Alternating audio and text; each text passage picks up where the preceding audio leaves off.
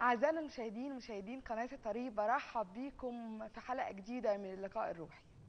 سعيدة أكون مع حضراتكم مشاهدينا الكرام اللي موجودين في مصر الشرق الأوسط أوروبا أمريكا كندا أستراليا.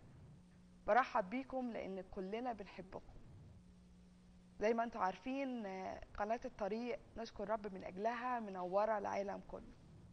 بصلواتكم ومحبتكم للقناة هتشعل النور الحقيقي لمجد المسيح. وبتنشر رسالة المسيح. سعيدة أكون معاكم النهاردة في حلقة جديدة. ويسعدني النهاردة أكون بستضيف شخص غالي عليا أنا شخصيا وأكيد غالي على كل المشاهدين. كان معانا قبل كده وجاي لنا زيارة خاصة من مصر. يسعدني أكون النهاردة وضيفي الغالي اللي كلنا بنحبه الأسقف منير حكيم رئيس المجمع العام لنهضة القداسة في مصر. سعيدة جدا تكون معانا النهاردة أسيس منير. شكرا شكرا. ربنا يخليك منورنا ومنور الدنيا كلها. الله يخليك. بجد دي مش أول مرة يكون معانا الأسيس منير لكن كان معانا قبل كده وكان معانا أيضا في تسجيلات جميلة جدا كلنا بنشاهدها على قناة الطريق. بتسعد الكثير والكثير من الناس والمشاهدين آه، بتعليقاتهم الجميلة على التسجيلات اللي بيعملها معانا حضرة القس منير حكيم. أشكرك سعيدة لهذا النهاردة يا التقديم. تكون معانا بس خلينا نكون قبل ما يكون لينا حوار النهاردة مع حضرتك يا ريت تقودنا في الصلاة في بداية الحلقة. آمين. اتفضل. أبانا يا أعظم أب. أبانا يا أغلى أب. أبانا يا أشمل أب. لأنك أبانا الذي في السماوات. يا من تخشع لك كل القلوب وتخضع لك كل الأفئدة. سد على جلستنا هذه واجعل منها رسالة لقلوب وضمائر المؤمنين. أنت قد أحببت العالم حتى بذلت ابنك الوحيد لكي لا يهلك كل من يؤمن به. بل تكون له الحياة الأبدية وها نحن نضع العالم بين يديك. ومصر بالذات التي أحببتها وقلت فيها مبارك شعبي مصر. نثق أنها موضوع عنايتك وموضوع رعايتك. تخرج لها من الآكل أكلا ومن جفاء الحياة حلاوة. نوصيك بأولادك نوصيك بكنيستك فأنت الذي قلت من أجل بنية وعمل يدي أوصوني ونثق أنك ساهر عليها لترعاها. فأنت قد قلت وأنت صادق الوعد على هذه الصخرة أبني كنيستي وأبواب الجحيم لن تقوى عليها. والله في وسطها لذلك لا تتزعزع. بارك هذا اللقاء واستثمره لمجدك. واقبل صلاتنا في اسم المسيح. آمين. آمين. أعزائي المشاهدين في بداية الحلقة النهاردة عايزة أقول لكم هيكون حوار صريح وجريء جدا وأيضا ساخن جدا مع الأسقف منير حكيم النهاردة. طبعا عارفين حضراتكم مرينا بأحداث صعبة قد إيه الوقت اللي فات. والأحداث ديت على كانت على كل لسان في العالم كله. كله بيتحدث عن الآلام والصعوبات اللي كلنا مرينا بيها كأباط مسيحيين موجودين في الشرق الأوسط في مصر. لكن النهارده خلينا نكون في حوار صريح جدا مع الأسقف منير في بداية حلقتنا النهارده. كنت عايزة أقول لك ما هو تقييمك بما حدث للأقباط المسيحيين في مصر الوقت اللي فات؟ في الحقيقة أن ما حدث في مصر تجاوز كل الخطوط الحمر. وما يتجاوز الخطوط الحمر يعقد له اللسان. كم كنت أتمنى. وتتمنى ملايين الم- المسلمين والمسيحيين معي في مصر. أن يكون ما حدث. لا يتجاوز كابوسا رهيبا حل علينا في منام. فاستيقظنا وإذا به لا يكون. لكن المؤسف أن ما يعتبر كابوس دونه كل الكوابيس هو الذي حدث. فقد حل علينا هذا العام المشؤوم 2011 منذ بدايته. ويداه ملطختان بالدماء والضحايا. وحرق الكنائس وإيقاع الضيق والاضطهاد بأبرياء. وعندما قام ما أسميناه بثورة قادها شباب نقي القلب طاهر النية. لإصلاح الأحوال في مصر استبشرنا به وقلنا أن مصر ستبلغ عهدا جديدا. وأن عهد الدماء وعهد النار وعهد الاضطهاد قد ولى لكننا للأسف حصدنا ما لم نكن نزرع وأصابنا ما لم نكن نتوقع فإذا ما أدناه في العهد الماضي وما قضت به يد الله على الجنات ليصير عبرة لمن يعتبر. فكانوا وراء القضبان يحاكمون على يد العدالة. إذا بما حدث بعد ذلك أشر مما حدث في هذا العهد البائد فالأمور التي حدثت يندى لها الجبين ولا يمكن أن يتوقعها أو يتصورها. أي صاحب ضمير أو فكر سوي. حرق الكنائس. لماذا تحرق الكنائس؟ وكتاب إخوتنا المسلمين المقدس يقول عنها أنها صوامع وبيع يذكر فيها اسم الله كثيرا. صوامع وبيع يذكر فيها اسم الله كثيرا. هذه الصوامع وهذه البيع المقدسة. التي يذكر فيها اسم الله كثيرا. هل تحرق؟ ثم يقتل الأبرياء. ثم وأكثر من ذلك لا يوجد من يقول من فعلوا هذا. قد تعاقبت الأحداث وتوالت النوائب وكأن ليس في مصر من يسأل أو من يتحمل المسؤولية. وفوق الجميع وفوق الكل ما حدث في الفترة الأخيرة من أن مصفحات عسكرية تدهش شبابا بريئا تطحنهم تسحلهم. كيف هذا؟ لست بصدد أي من حرض على هذا أو من تواطأ فيه.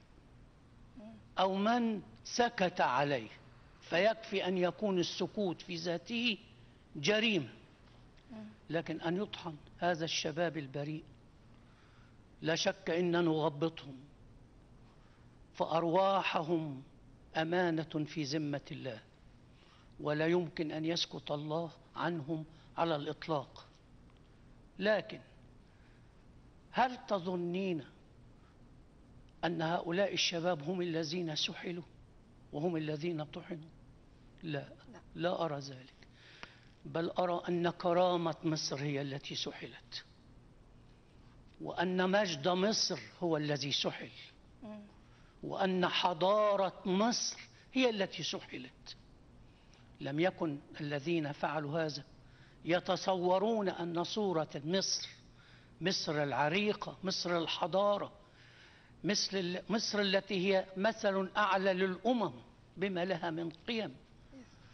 تصبح لها هذه الصورة المهزوزة على أيدي من فعلوا هذا. إنه أمر مشين في الواقع. نخجل جميعا من ما منه. أقول إخوتنا المسلمون وهم الغالبية الغالبة في مصر قبل المسيحيين. ورأيت بعيني الدموع في عيونهم. وهم يتساءلون في اندهاش لماذا يحدث هذا؟ لماذا يحدث هذا؟ ولا أنسى أبدا ناشطة مسلمة أعتز وأفتخر بما قالت. قالت لست أدري كيف يقتل المصريون الم- المصريين؟ وكيف يقتل المسلمون المسيحيين؟ ونحن من أصل واحد ومن دم واحد آباؤنا وأجدادنا هم آباؤنا وأجدادنا وأنا أحييه. ولقد قلت كثيرا وأعتز بما أقول ليس في مصر مسيحيين ومسلمين بل أن في مصر مسيحيون ومسيحيون. مسيحيون بقوا على مسيحيتهم. ومسيحيون انتقلوا إلى الإسلام. ولست الآن بصدد تقييم هذا أو ذاك لكن على الأقل ما يتفق فيه الجميع أن اسم علي قد يصل به إلى أب اسمه حسن. وحسن يصل به إلى أب أو جد اسمه مصطفى وإلى جد جد اسمه محمد وإلى جد جد جد اسمه عبد المسيح التاريخ يقول هذا. فكلنا تسري في دمائنا أو في عروقنا دماء واحدة وجينات واحدة وأصول واحدة فلماذا يقوم المسلم على أخيه المسلم؟ ولماذا يضطهد المسلم على أخيه المسيح؟ ولماذا يضطهد المسلم أخاه المسيح. هذا ما لا يستطيع. أحد أن يتصور هذا ما يعد فزورة لا تفسير له. ليته ينهض من يستطيع أن يفسر لنا أو أن يوضح لنا هذا اللغز. عشنا متآخين عبر آلاف السنين. نعم لا أبرأ لا أبرئ ساحة مصر من بعض اضطهادات فردية تقوم هنا أو هناك فالأخ قد يتشاجر مع أخيه. لكن أن تتحول هذه إلى مذابح أن تتحول هذه إلى تصفيات دمار. إلى دمار يحرق الكنائس والمنشآت. ويوجد من يعتلون المنابر ويقفون أمام كاميرات التلفزيون ويصرحون جهارا نهارا بهذا ولا أحد يمسهم هؤلاء الذين يشعلون الفتنة ليل نهار لا يجدون من يمسهم بل هل أقول آسفا؟ قد يوجد من يحميهم. لأنه أي تفسير لأن يقف أحد ليشعل الفتنة في مصر وهو يعلم أنه لا يجاز على ذلك. وهو يعلم أنه لا يجاز على على ذلك. فلو جوزي إنسان واحد بما فعل من الذين أحدثوا كل الأحداث السابقة من ومن ومن وإلى وإلى وإلى لو وجد من يجازيه على ما فعل لما حدث هذا كله الذي يحدث الآن. ولأن الجزاء على العمل الرديء كما يقول كتاب الله لا يأتي سريعا. لذلك امتلأ قلب بني البشر لفعل الشر. هذا هو التقييم الذي أراه لهذه الأحداث المؤسفة. ما كانش بس يأسيس دمار لمصر لكن دمار كمان في أرواحنا. وقلوبنا قلوبنا اتكسرت بهذا الأمر. الدمار وحصل. الذي يلحق بالأجساد قد يشفى وإن لم يشفى. فقد ينسى. لكن الدمار الذي يلحق بالأرواح ويكسر القلوب لا شفاء له على الإطلاق. وأقول آسفا مع كل ما أترجاه أن تعبر مصر هذه المخاض الرهيبة أقول آسفا أن ما حدث سيبقى لطخة ووصمة في جبين مصر وفي تاريخ مصر يذكره الأولون والآخرون. أسأل أن يبرئ الله بمعجزة مصر من هذه الأعمال الأثيمة أمين. باسم يسوع محتاجين معجزات. أسيس منير في الوقت الجاي. آمين. لكن بعض المشاهدين متفائلين والبعض الآخر متشائمين.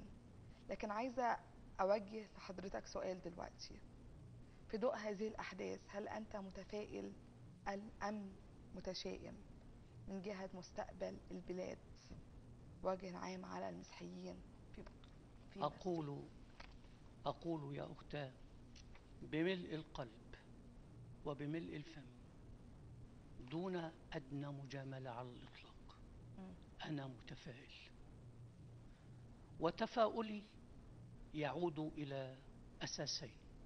الأساس الأول هو الله. آمين. الله الذي لا يرضى بالظلم. حقيقي. الله الذي لا يسكت أبدا على المظالم. مم.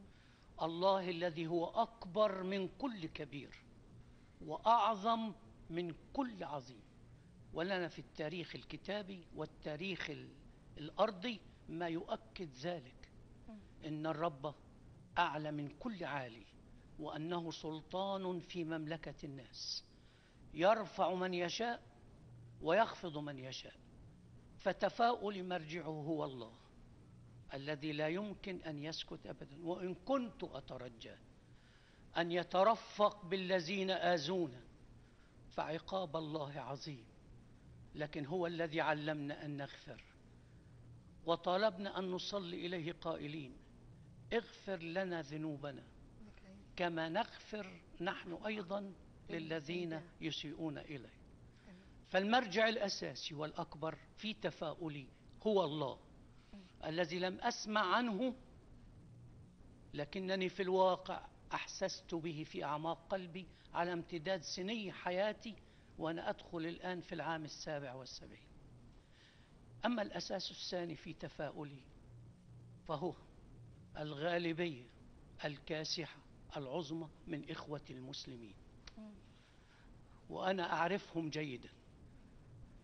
لن تسمع هذه الغالبية أن تجر مصر إلى هذه الفتنة إطلاقا. فعلى امتداد سني خدمتي وهي تزيد عن الخمسين عاما وأنا أرعى كنيسة كبيرة في القاهرة وأرأس طائفة لها وزنها أقول بالصدق إن من أروع وأعظم أصدقائي هم إخوتي المسلمين. ولكي أكون مدققا فيما أقول أضع من هذا المنبر أسماء عاز عزيزة غالية على قلبي من الذين يجاورونني في السكن والكنيسة. أذكر على سبيل المثال الحاج حلمي عيطة الذي أرجو له شفاء كاملا من أمراض الشيخوخة. لا يلقاني في يوم من الأيام أعبر بالشارع إلا واقف هاتفا. مولانا سيدنا أهلا بيك. وتشيعني تمنياته حتى أبلغ أبواب الكنيسة. ثم الشيخ حسن الذي يجاورنا في متجره. هذا الشيخ حسن لو تلاقينا عشرات المرات في اليوم فإنه يصافحني المرة بعد الأخرى. والحج رضا. الذي أشرب قهوة الصباح على يديه دائما وهو يقبلني ويلاطفني. ثم هل أنسى؟ الحج علي مصطفى وهو الآن في العالم الآخر. أيوه. أذكر أنني بعد أن رجعت من تسجيل برامج للراديو في مونت كارلو وكان هذا في التسعينيات. وكان هو من عادته أن يلاقيني كلما أعبر في الشارع هاشا باشا. في هذه المرة وقف من الكرسي الذي يجلس عليه أمام ورشته. وفتح ذراعيه كأنه يعترض مروري. وقال وهو بابتسامته المشرقة مش هخليك تعدي من هنا. فلما بلغته ربط على كتفي وقال أنا زعلان منك. قلت له يا ريت الزعل يكون زي كله يكون زي الزعل ده. أنت زعلان ليه؟ قال لي أنت تذيع من الراديو رسائل روحية وما تقوليش.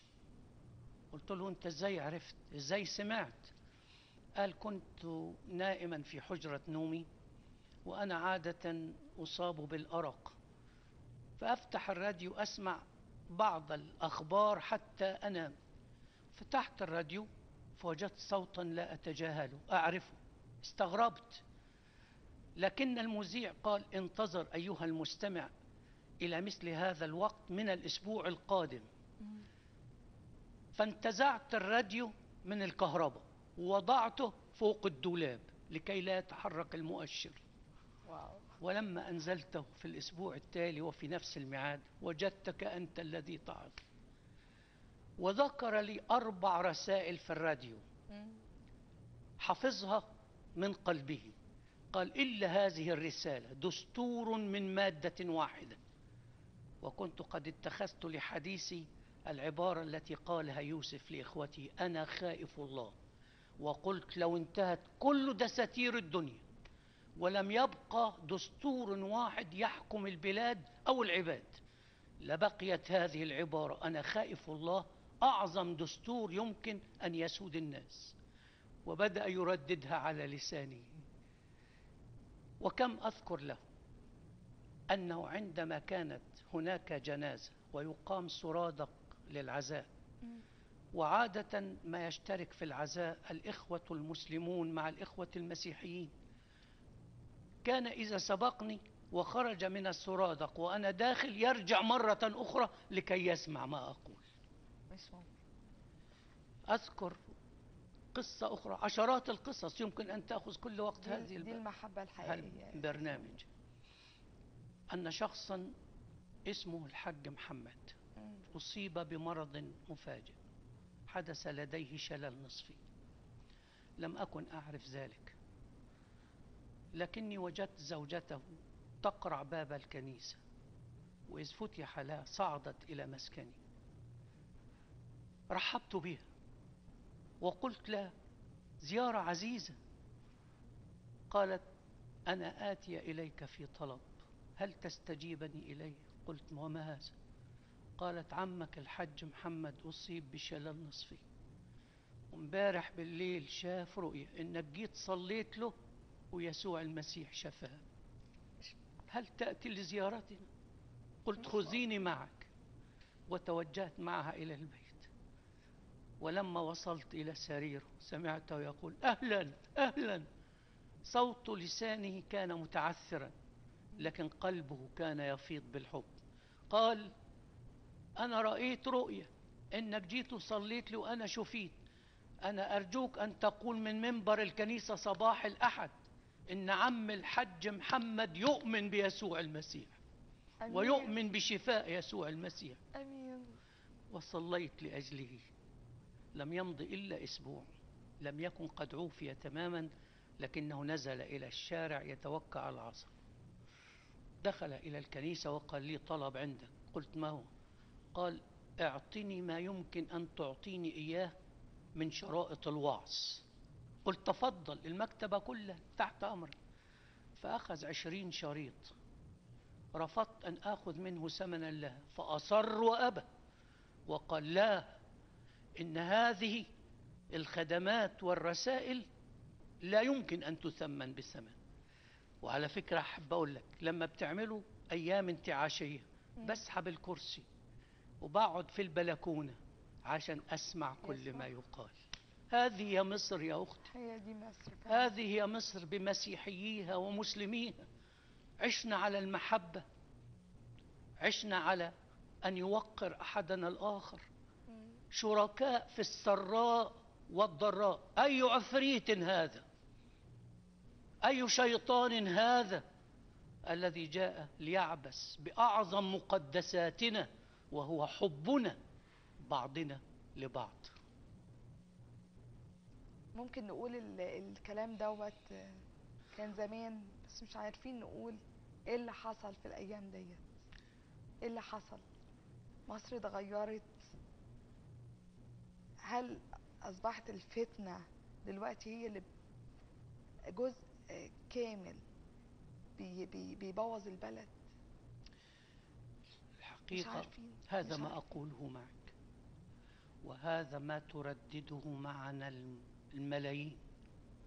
كما قلت ليس من مسيحيين فقط بل أيضا من مسلمين. أعتقد أنها فتنة وافدة. غريبة عنا يزكيها الغير. لكن أنا مصر أن أقول إننا لا نبرئ ساحتنا منها.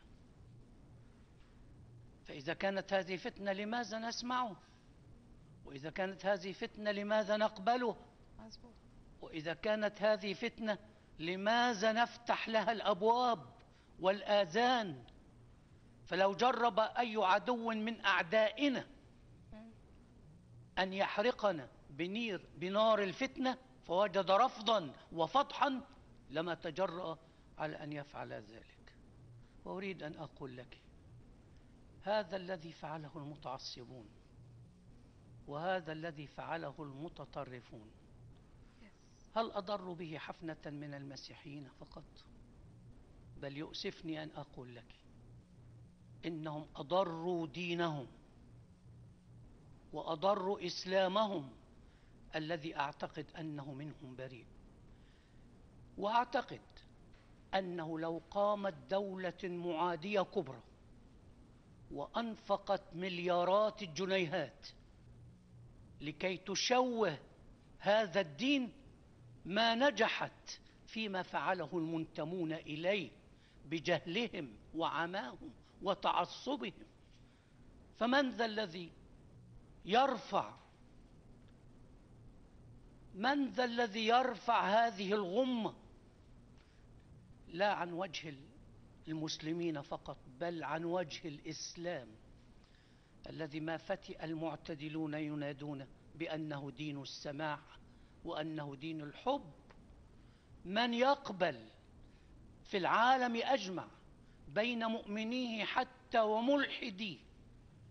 أن يقدم إله لا يرضى إلا بالقتل وبالانتقام. أي إله هذا؟ فإذا لم يكن الله محبة فماذا يكون؟ لا شك أنك تؤمنين معي ويؤمن كل إنسان من مشاهدينا الآن. إن الله أب صالح. والأب الصالح لا يمكن أن يوقع العداء بين أولاده. فلا يستريح قلب أب صالح وأولاده يتقاتلون. بل إن هذا الأب يستريح وينعم عندما يجد أولاده في سلام وفي خير. فكم بالأحرى إذا كان هذا الأب هو الأب السماوي الذي خلق كل أمة على وجه الأرض والذي لو شاء لجعل الناس أمة واحدة لكنه فرقنا لكي نتكامل ونتحابب لا أن نتنازع ولا أن نتحارب. فما الحياة وما قيمتها إذا كانت تقضى في حقد وفي حرب؟ اقبلي مني أن الحاقد يضر نفسه أكثر من المحقود عليه. ذلك لأن الحاقد يصيبه حقده في دمه بالأمراض وفي جسمه. حتى في الحيوانات. أرادوا أن يعرفوا رد فعل الحقد والغضب حتى في قلوب الحيوانات. فاستحضروا كلبا وقطا. وبين الكلب والقط عداء معروف. وأوقفوا القط أمام الكلب والكلب أمام القط. وصوروهم بالأشعة. فإذا بهم يرون أن مصارين ال- الكلب تتكور. أيوة. وكذلك جسد القط يتكوش. وإذا بعصارة الحقد والخوف تسري في الجميع. فما أن أبعدوهما بعضهم عن بعض حتى رجع السلام والوئام إلى قلبيهم من يكسب من الحقد؟ من يكسب من الدمار. من يكسب من البغضة؟ مفيش. من يكسب من انتزاع السلام؟ وأي شيء يمكن أن يبتغيه الإنسان من ربه على الأرض إلا الأمن والأمان. جوعيني واعطني أمان واعطني سلام. فكتابنا المقدس يقول لقمة يابسة. ومعها ومعها سلام. سلام. خير. من. بيت ملآن ذبائح وفيه خصام. كم نصلي معا؟ أعد سلامك على مصر يا رب. يا رب واملأ يا رب. قلوب الجميع يا رب بالسلام. كلنا بنصلي النهارده يا سيس منير مع كل أحبائنا المشاهدين. بنقول يا رب رجع السلام إلى مصر. آمين. كلنا بنحب مصر. آمين. مصر غالية علينا. آمين. ليست تعيش فينا لكن إحنا هي عايشة نعم. جوانا. نعم. ليس وطنا زي ما قداسه البابا شنودة نعم كلمة المأثورة عبارة للبابا. جميلة. نعم. ليس وطنا نعيش فيه لكن هذا الوطن يعيش يعيش فينا. بالظبط فعشان كده بنقول يا رب رجع سلامك يا رب لكل قلب لكل قلب حزين لكل قلب مكسور. رجع سلامك يا رب على كل الأقباط لكن تسمح لي قبل ما يكون لينا آه، باقي الحديث مع حضرتك تسمح لي أكون آه، بفتح خطوط التليفون. مع أعزائنا المشاهدين لو عندكم أي طلبات صلاة الأسيس منير موجود نشكر ربنا من أجله. الرب فعلا حقيقي مديله آه، مواهب كتيرة جدا. نشكر الرب ولو عندكم أي آه، استفسارات أي أسئلة أي مناقشات ممكن تكونوا بتدخلوا معانا على الرقم الموجود عندكم على الشاشة. بنفتح الخطوط من دلوقتي وبنرحب بأسئلتكم ومحبتكم وكل طلبة صلاة أنتوا عايزينها. آمين. لكن خليني أتطرق معاك أسيس منير لسؤال آخر. هل ترى أن منطق يستند إليه المتطرفون والمتعصبون فيما يفعلون؟ أول ما ألتقطه من سؤالك هو كلمة المتطرفين والمتعصبين. ما هو التعريف للمتعصب؟ المتعصب هو إنسان يضع على عينيه عصابة. يضع على عينيه عصابة. فإذ يضع على عينيه عصابة لا يرى أحدا إلا هو بل لا يستطيع أن يرى حتى وجه نفسه. المتعصب هو إنسان يخيل له أنه يعيش في جزيرة معزولة ويعيش وحده على الأرض وكأنما لا أحد في الوجود يعنيه أو يهتم به. وينسى هذا المتعصب المسكين أن العالم مليء بالشعوب ومليء بالحكومات ومليء بالمنظمات التي ترقبه وترصد كل فعل يرتكبه لو فتح عينيه وفكر أن العالم مليء بالديانات الأخرى مظبوط فهناك البوذية. التي يدين بها أكثر من ثلث أو لكي أكون مدققا أكثر من ربع سكان العالم. وهذه الديانة يتعبد الناس فيها لرجل اسمه بوذا وهناك الهندوكية التي يتعبد فيها مليار هندي هندوكي. يقدسون الله في البقرة. آمين. قبل ما نكون بنكمل الحديث مع حضرتك يا قسيس منير بس ما تنساش وقفنا عند فين؟ علشان ناخد التليفون دوت. أنا خايفة بس احسن يكون تليفون من مصر. اتفضل اتفضل. نستقبل التليفون دوت مع حضرتك. اتفضل. أهلا وسهلا بيكم اللقاء الروحي أنت الطريق مين معانا. أيوه. أيوه. أهلا يا رانيا إزيك؟ أهلا بيكي. إزيك يا طنط رود؟ إزاي؟ صحتك كويسة؟ الحمد لله حبيبتي. اتفضلي يا حبيبتي. أنا عايزة أشترك معاكم في البرنامج عايزة أقول حاجة. آمين يا حبيبتي اتفضلي التساؤلات كتيرة حول إن هم أنت قلتي سؤال وال والاسيس حكيم قال سؤال. مظبوط. أنت قلتي إيه؟ مصلحتهم. والاسيس حكيم قال إيه؟ قال إن الناس دول معميين. أنت متعصب وأنت يعني أنا في عايزة أقول حاجة. في الاسيس منير قال في عصابة على عينيهم مش شايفين. يعني مغمضين الشخص عينيهم. شايف نفسه بس مش شايف التاني. لكن أنا عايزة أقول حاجة بقى. إحنا عارفين هم مين. إحنا ليه بن- بنسمح للسعودية إن هي تتحكم في بلادنا؟ تحت رأية الإسلام؟ يعني دول هيهلكوا العالم كله مش مصر بس تحت رأية الإسلام. ليه كده؟ السلفيين دول مش بني آدمين. مش بني آدمين. دول جايين من جنينه الحيوانات. دول ما هماش بني آدمين ابدا. البني آدم ما يعملش كده بأخوه. أنا مش عارفة أقول إيه. أنا الغضب مالي قلبي. وكل ما أقول أسامحهم ألاقي قلبي رافض السماح ليهم. أنا مش عارفة أعمل إيه. دول هيحطمونا. كلنا زعلانين على اللي حصل. لكن الرب أكبر. يا خليكي معانا يا طنط رود تعليقك مع طنط رود. اتفضل يا قسيس okay مع تقدير الكامل بل المطلق لمشاعر الأخت العزيزة رود. لكن أرجو أن أوجهها إلى ما يأتي. استلفي يا أختي أمين. جزءا من حب المسيح ومن صفح المسيح. ولا تنس مسيحك الذي قال وهم يصلبونه والمسامير تدق في يديه ورجليه. اغفر لهم يا أبتاه، لأنهم لا يعلمون.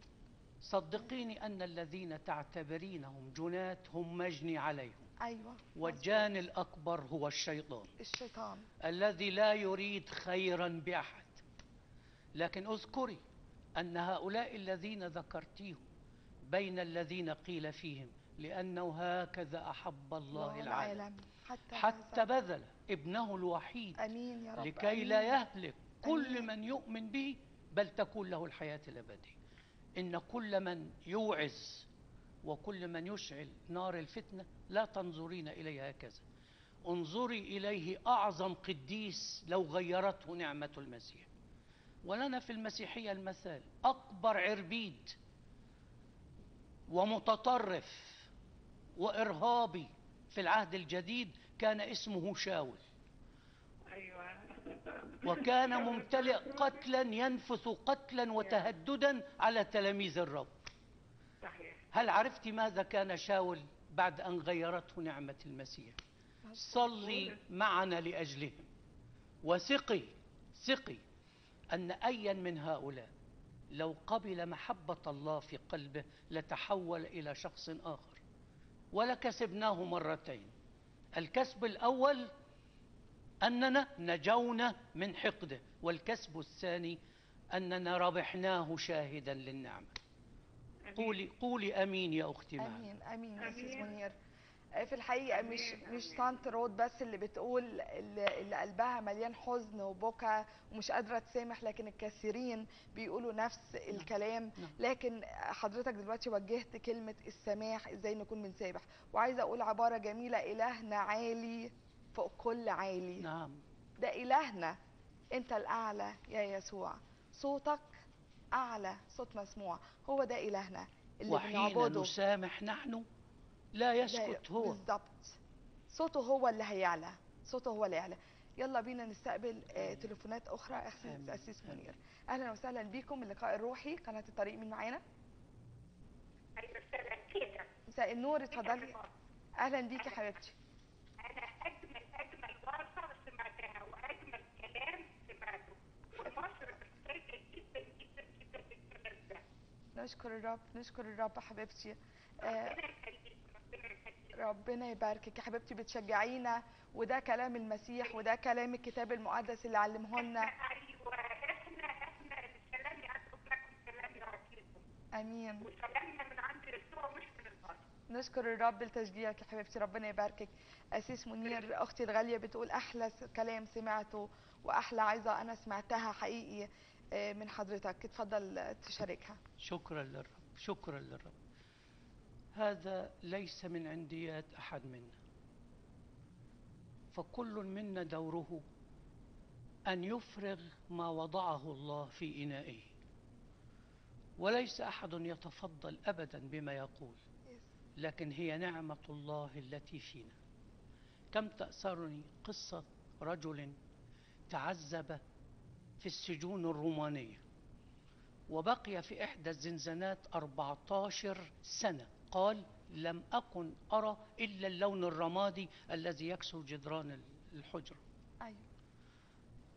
قال وفي يوم من الأيام دخل علي ضابط متجبر متغطرس ولطمني وضربني وركلني وقال أيها المسيح اللعين أريد أن أعرف الفلسفة التي تجعلنا نضربكم كشيوعيين فتحبوننا كمسيحيين. وأعطيك مهلة نصف ساعة لتكتب على هذه الورقة وأعطاه ورقة لتقول لي ما هي فلسفتكم في ذلك. قال أنا لم أكن أقوى على الكتابة ويدي ترتعش. لكني طلبت من إلهي أن يعطيني نعمة في عيني لأقول له الكلمات التي أريد أن أقولها له شفاء. وجاء الضابط ونظر إليه وقال هل كتبت؟ فقلت له اسمح لي يا سيدي أن أتحدث إليك بالفم. قال ماذا تقول؟ قال افترض أن صديقا لك أهداك وردة جميلة أيوه. فأنزلتها من نفسك منزل الإحترام كأن وضعتها في عروة الجاكيتة أو على مكتب وبين الحين والآخر تمد يدك إليها ثم تشمها.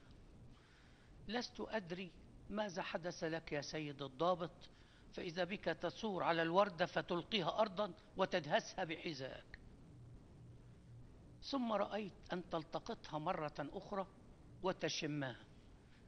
أي رائحة تعطيك الوردة قال الرائحة الطيبة بالطبع. قال تعطيك رائحة طيبة. وأنت تنزلها منزلة الاحترام وتعطيك ذات الرائحة وقد دهست تحت قدميك. قال وما الغريب؟ فهي وردة. ولا تستطيع أن تقدم إلا رائحة طيبة لأنها وردة. قال هذا هو الجواب الذي أريده. أمين. أنا أحب.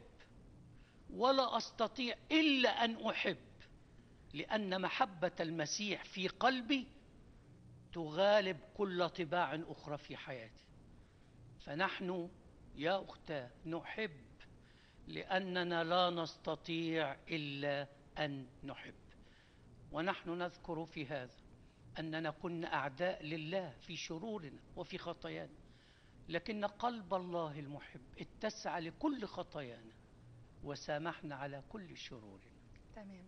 آمين يا سيس منير دايما يا رب دايما كل الاقباط وكل المسيحيين بتكون فيهم الريحة الجميلة نعم رائحة المسيح الزكية الزكي. نعم. اللي فعلا كل واحد بيشمها بيلاقي ريحة جميلة نعم. ما بتخرجش العيبه من لسانه نعم. ما بيط- ما بيخرجش الغلط من قلبه ما بيخ- ما بيخرجش ال- الحاجات اللي ممكن صح. تكون إحنا متضايقين وتعبانين لكن يا رب علمنا يكون لساننا دايما نعم. لسان نعم. لين نعم. يصرف الغضب هو المسيح نعم. اللي علمنا ولأن كده. الشيء بالشيء يذكر. تمام تمام. خلينا مع ناخد تليفون تاني اسيس أمين. أمين. أهلا وسهلا بيكم. قناة الطريق اللقاء الروحي مساء الخير. مساء النور اتفضل. أنا كنت عايز أسأل حضرتك بس القصة منير الطائفة إيه بتاعته؟ نهضة القداسة. أسقف. نادي القداسة. إحنا رئيس. اولا هو كلام رائع عظيم جدا وإحنا يعني مبسوطين بالكلام الحلو خاصة عن العشرة القديمة. اللي بيحكيها مع الحاج محمد والحاج علي. الكلام ده كله لأن أنا برضو كبير في السن عشته واتمتعت بيه زمان. ولكن للاسف للأسف أنا طبعا ليا أصدقاء كتير أعتز بيهم ما زلت لغاية دلوقتي اللي لسه عايشين لغاية دلوقتي. لكن الباقي اللي مات الله يرحمه يعني ما انساهمش ابدا. وأنا متأكد إن أنا لو موجود في مصر دلوقتي والناس أصدقائي القدام المسلمين لو كان حصل أي تعصب تجاهي دلوقتي ممكن انهم يقفوا وياخدوا في صدورهم النار ويدافعوا عني ويحموني وي... ويعني ناس العشرة اللي بيتكلم عليها القصة منير ديت دي حقيقة موجودة والناس كانت حلوة ولكن فوجئنا بتيار غريب. وطبعا يا قس منير حضرتك عايش في مصر وعارف إن الناس حتى اتغيرت بإن أقول له سلام يقول لي وعليكم السلام أقول له مساء الخير يقول لي وعليكم السلام أو ما يردش عليا.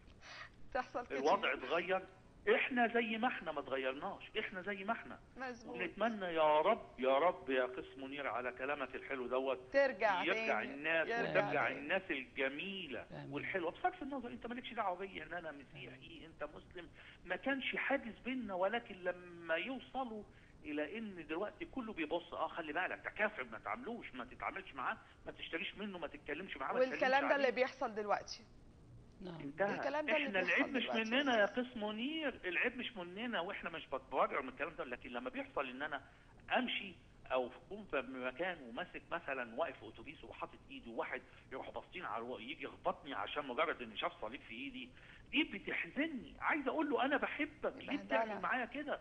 لكن أنا لو قلت له أنا بحبك هو هيقول لي أنا بكرهك لأنك كافر. التغيير مش مننا لكن إحنا بنحبهم. صدقني لأن إحنا ما عندناش حلفان إحنا بنحبهم.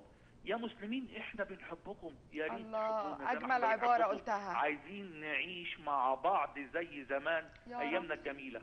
والنهاردة بتقولوا نطبق الشريعة ونعمل. هو أنتوا كنتوا مسيحيين وبقيتوا مسلمين؟ ما أنتوا طول عمركم مسلمين ومصر فيها المسلمين وفيها الإسلام. طول عمركم مسلمين هو أنتوا جديتوا هتبقوا كنتوا مسيحيين وهتبقوا مسلمين. ليه التغيير ده حاصل؟ نتمنى إن ربنا يغير النفوس ويخلي الكل يحب بعضه بس أنا. ليا حتة بس عايز أقول لحضرتك عليها إن أنت فسرت حضرتك كلمة متعصب بإنه آه، آه، يعني عليه عصبة على عينيه ولكن يعني. هي لا هي متعصب جاية من الأعصاب اسم فاعل متعصب شيء متشدد متشدد. أما اللي حاطط عصبة على عينيه فهو معصب العينين وشكرا وآسف لتضييع وقتكم شكرا ربنا يخليك الأسيس منير هيكون بيعلق بردك على قلت في كلام آخر ما قلت فهو معصب العينين. فسواء كان معصب العينين لأنه يضع عصابة أو متشدد. لأن عصابة قد انفلتت. يس فالنهاية واحد. لكن أريد أن أقول لك أخي العزيز إني متفق معك تماما في كل ما قلت. آمين. وأنا أطلب إليك أن تحب إخوتك الذين يعادونك ليس لأن بل رغم أن. فالمسيح لم يعلمنا أن نحب لأن بل رغم أن. وقال إن كنتم تحبون الذين يحبونكم فأي فضل لكم؟ فإن العشارين والخطاة يفعلون هكذا. بل إنه شرف لنا أن العالم يبغضنا. لأنه قد أبغض مسيحنا من قبلنا. فإن كانوا قد أبغضوكم فلأنهم أبغضوني قبلكم. وليس عبد أفضل من سيده ولا تلميذ أفضل من معلمه. لكن طوبى لكم إذا طردوكم وعيروكم وقالوا وقالوا عليكم كل كلمة شريرة من أجل كاذبين. كاذبين. افرحوا إذا وتهللوا.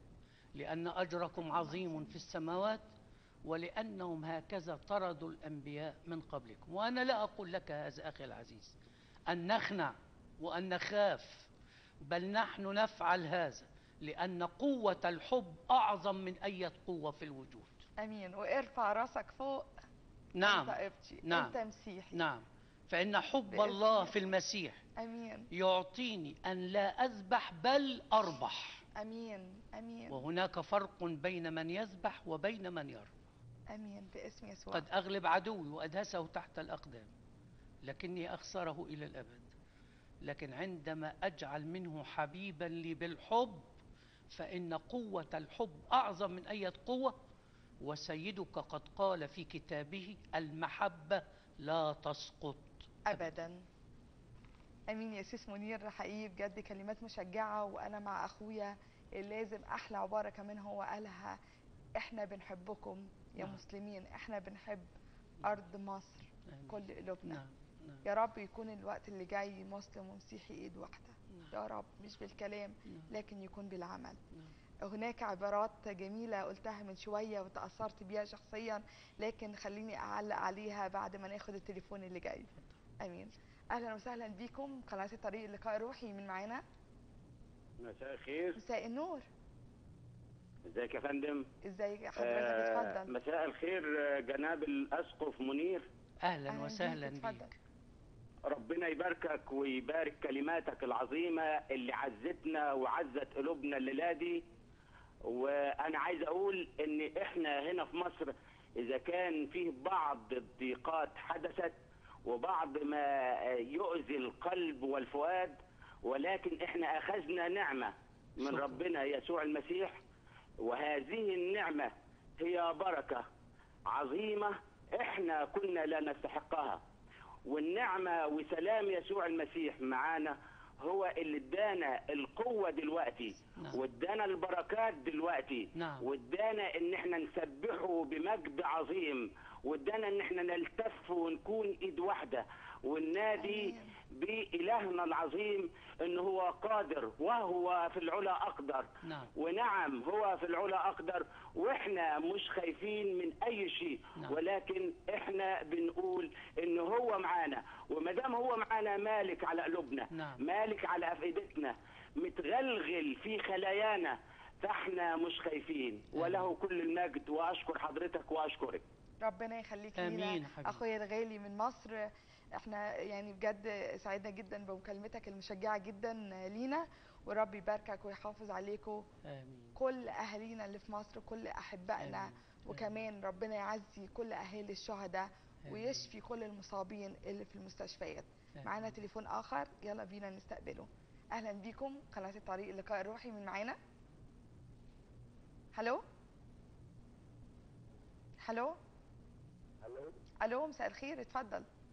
آه، مساء الخير اخت رانيا أنا ريتشارد من تورونتو. أهلا بيك يا أخي ريتشارد دايما منورنا. مع القدس منير ربنا يباركك اتفضل يا أخي ريتشارد. دائما أسمع أسمع تشريح كلمات ال- ال- ال- ال- الفاضل الكلمات اللي بتخش النخاع أنا أشكرك جدا آه، يا قدس منير لأنك تشرح كلمات بوضوح وتخلي حتى اللي ما بيفهم يفهم. يعني شكرا. كلماتك لما تشرحها صدقني روحيا تخلي حتى اللي ما بيثبت يصدق.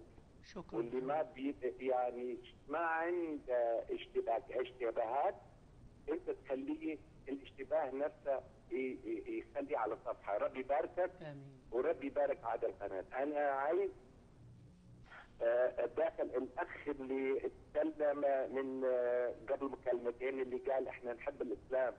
صح أنا معاه إيه إذا إحنا ما بنحب الإسلام يعني معناتها ما بنحب ربنا. ربنا أعطانا محبة حتى نحب العالم كله بس ما فيش استثناء عندنا.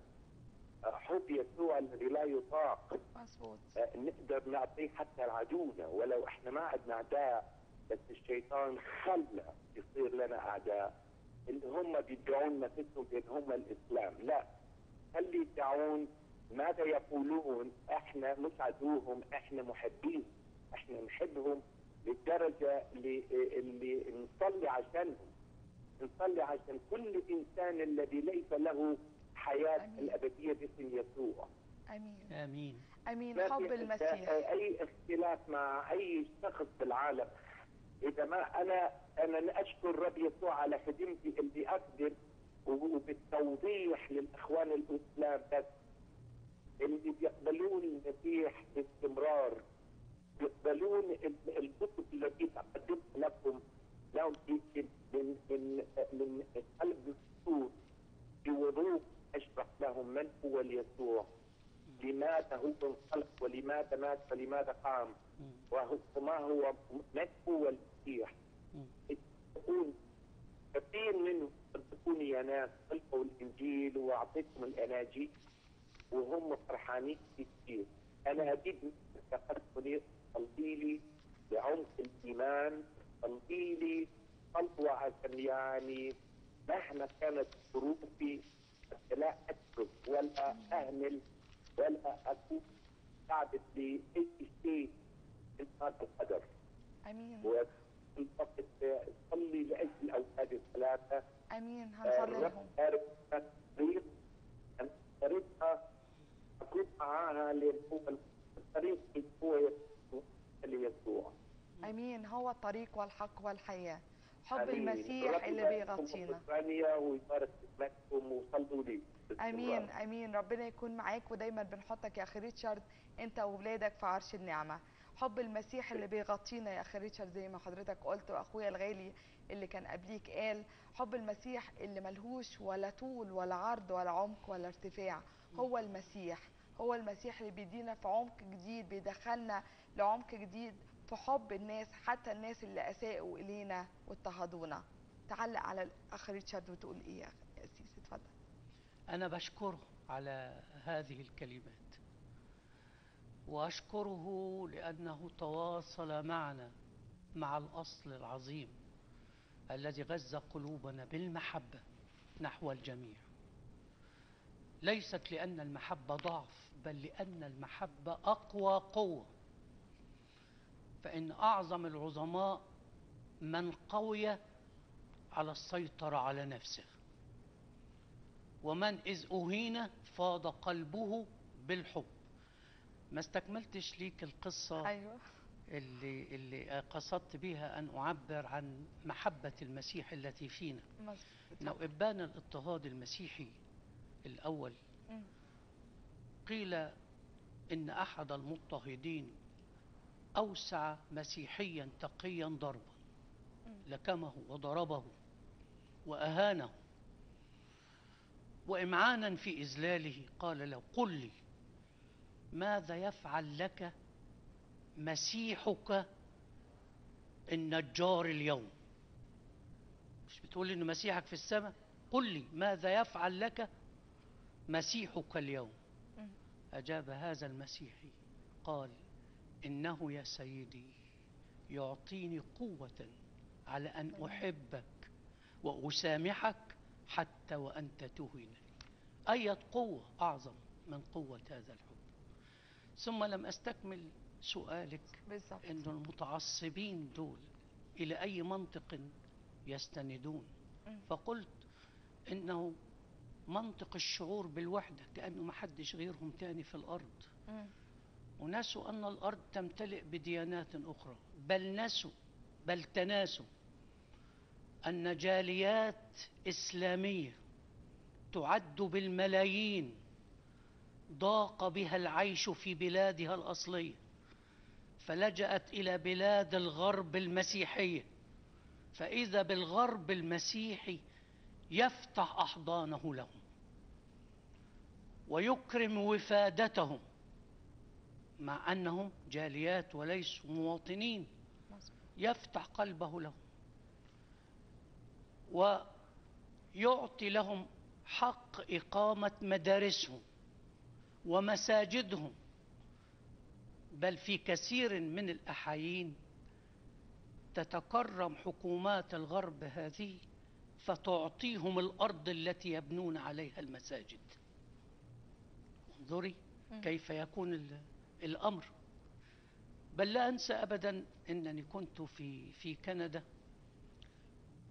وبينما صديقي يقود السيارة أشار بإصبعه إلى قطعة من الأرض وقال هنا أرادت الجالية الإسلامية أن تبني مسجدا, مسجدا؟ فرفضت الدولة. فتحت عيني وقلت رفضت. هذا قال هل تعرف لماذا؟ قلت لماذا؟ قال لأنهم طلبوا منهم ما عدد المصلين الذين تتوقعونهم في هذا المسجد. فقالوا كذا. فضربوا العدد كما يفعلون أن كل أربعة لازم يكون ليهم جراج سيارة. أيوة. فلقوا المكان المتروك حول بناء الجامع لا يتسع للسيارات. فرفضوا وقالوا لهم خذوا قطعة أرض أوسع وأكبر. تتصوري من يستطيع أن يحجر على إنسان في دينه؟ والدين هو علاقة شخصية بين الإنسان والله. امنعي عني الطعام.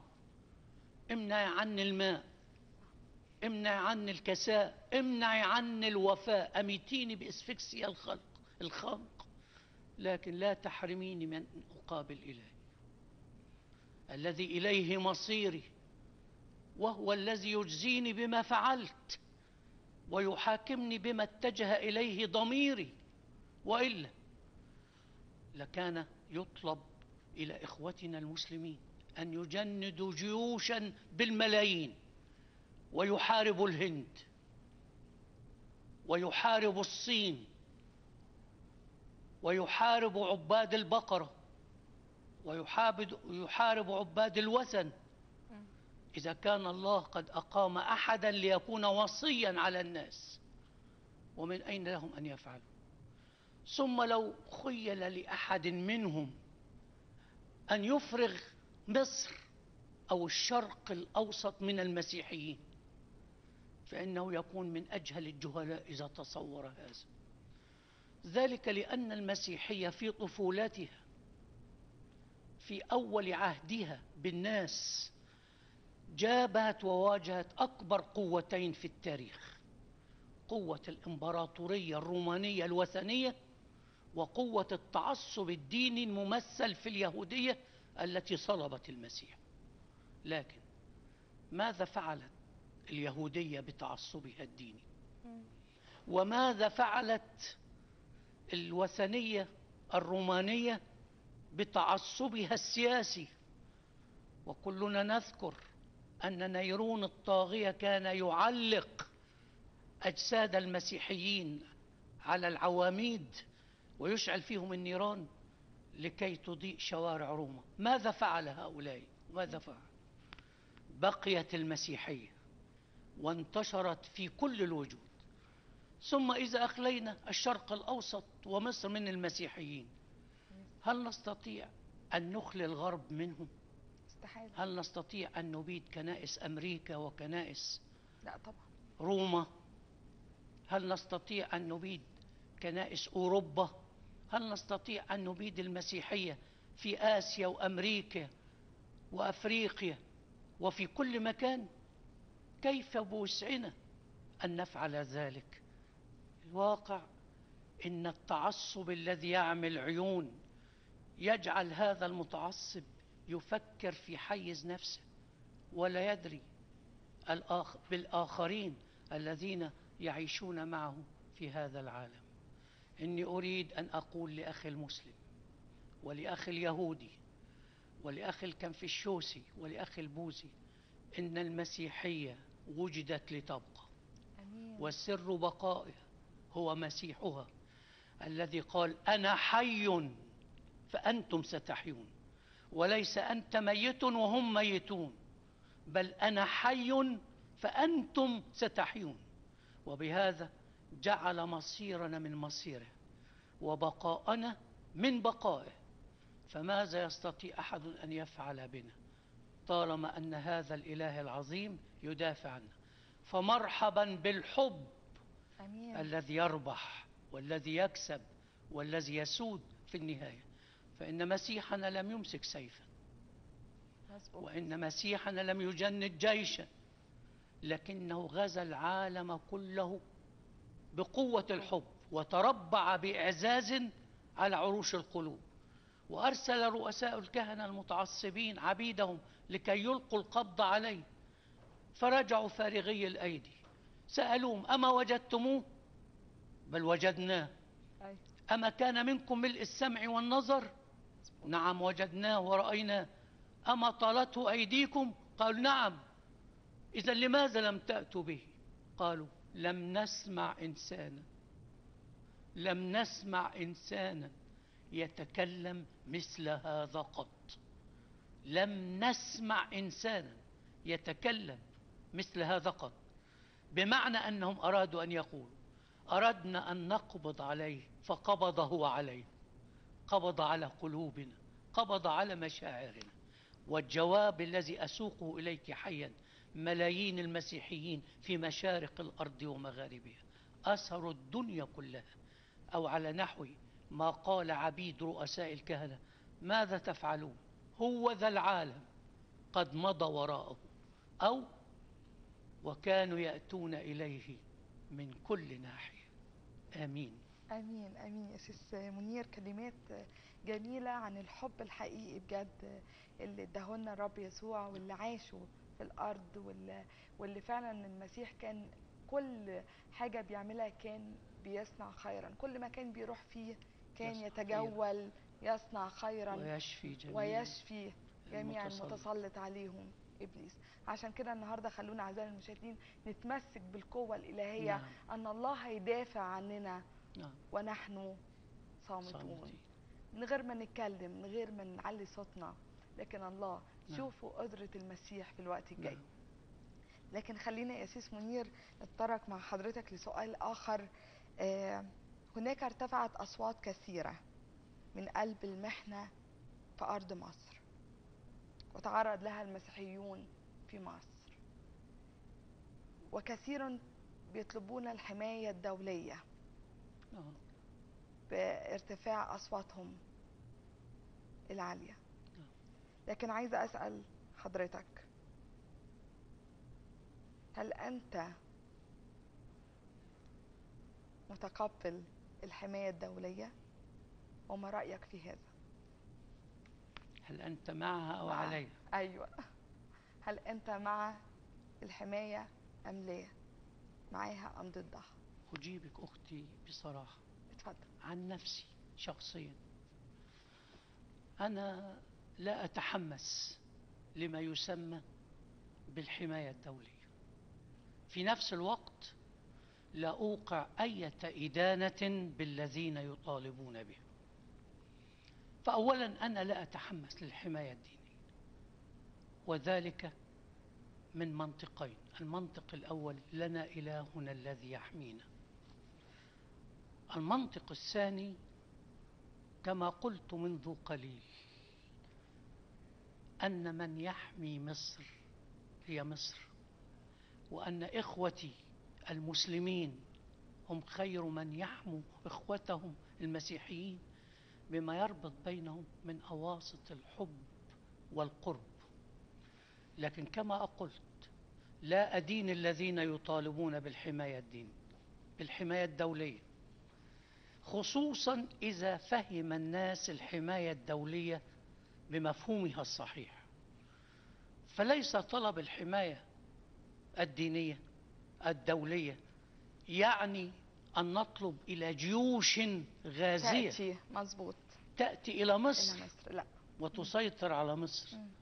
لن يقبل أحد هذا على الإطلاق. فليس معنى طلب الحماية الدولية أن نطلب غزوا أجنبيا يأتي عسكريا يأتي وهذا لكن ينبغي أن تقبل الحماية الدولية بمعنى أننا كمصر عضو في لجان الدفاع عن الإنسان وهيومن رايتس وحقوق الإنسان. ونحن في مصر اشتركنا لنجدة بلاد أخرى كانت واقعة تحت الظلم والاضطهاد. اشتركنا بجيشنا في تحرير العراق من سيد قاسي. وتوجهنا إلى أفغانستان لكي ندافع عن إخوتنا المسلمين هناك من ظلم الروس الملحدين لأن روسيا في ذلك الحين كانت ملحدة. ذهبنا واشتركنا بجيوشنا وذهب الغرب المسيحي لكي يدافع عن مسلمي البوسنة والهرسك عندما أحس أنهم يظلمون من إخوتهم ال- ال- اليوغوسلاف. ذهب الغرب وذهبت أوروبا بجيوشها لكي تدافع عن مسلمي البوسنة والهرسك ضد مسيحيي يوغوسلافيا. إذا فلماذا يعاب أن نطلب حماية؟ حماية بما لنا من حقوق في اللجان الدولية التي أقيمت لحماية الإنسان وحقوق الإنسان. ثم هناك سؤال حساس أتوجه به لإخوة المسلمين في مصر. إذا كنت أطلب الحماية الدولية فلست أنا الذي أدان بل يدان الذي دفعني لأن ألجأ لهذا الباب. أنا أخ أصغر لماذا هجرت بيت أبي؟ وأنا أستعيدك إلى قصة الأب الذي كان له ابنان. لا شك أن الولد ما طفش من أبوه ابن المحب. الأكبر. ولا من أمه لكن أخوه الأكبر. مم. لا زال الأخ الأكبر إن عددا أو قوة يتحكم في أخيه الأصغر. مظبوط. فإذا كنت أطلب الحماية الدولية العيب مش علي. العيب عليك أنت اللي خليتني أفكر في هذا. إذا لم أكن أجد الحنان في أخي الذي تقاسمنا معا اللقمة فأين أجد الحنان؟ لابد لي أن أذهب وألتمسه في أي مكان آخر. فلماذا تدينني فيما أنت قد دفعتني إليه؟ احسن معاملتي وأنا أقبل وجنتيك وأحارب معك كما حاربت كل من يفكر أن يمس مصر وقد اخ- اختلطت وارتبطت دماءنا معا في كل الحروب التي خضناها. فلماذا تدفعني؟ لا أن أطلب بل حتى أن أفكر فيما يسمى بالحماية الدولية. ودعيني أذكر شيئا ربما يكون جديدا الآن. هل يعرف أخي المسلم أنه لولا طلب الحماية الدولية ما كان هناك مسلم في مصر؟ لنرجع إلى التاريخ. ما الذي أتى بالجيوش الإسلامية إلى مصر؟ فيما يسمى بالفتح الإسلامي أوليس لأن بابا المسيحيين استنجد بالجيوش الإسلامية لكي تنصره على اضطهاد الرومان. هل يذكر أخي المسلم أن الذي جاء به إلى إلى مصر هو طلب الحماية الدولية؟ فلماذا تيسر الحماية الدولية له أن يدخل إلى مصر؟ وتحرمني أنا من طلبها. بعد أن الذي احتميت به أحتاج إلى من يحميني منه. ليحسن معاملتي. ليرجعني إلى الوفاق بيني وبينه. ليذكر أرضا نعيش فيها معا. وسماء نستظل فيها معا. وماء نيل نشرب منه كلنا معا. معا مظبوط. وبعد ذلك كيف أفكر إن المصريين بالذات أقل شعوب الأرض حتى في طلب الهجرة؟ أنا أعرف إن المصري. لو انتقل من مدينة إلى مدينة يعز عليه أن يفعل هذا. وقبل أن تفتح أبواب الهجرة على مصراعيها كان شيء كبير أن ينتقل صعيدي من صعيد مصر إلى القاهرة. أيوه. كانوا يسمونها مصر. هجرة. كانوا يسمونها. وأذكر وأنا بعد صبي صغير أن توجهنا إلى سوهاج إذ أن بلدنا القرية تتبع سوهاج. أحسن ناس. الله يخليك. لنودع قريبا لنا يسافر إلى القاهرة. أول ما جاء القطر بدأ كل المودعين يضربون على صاج القطر. ويقول له. مفرق الحبايب. يا مفرق الحبايب. فالمصريون أكثر الناس التصاقا بأرضهم. مظبوط وأكثر الناس حبا لبلدهم.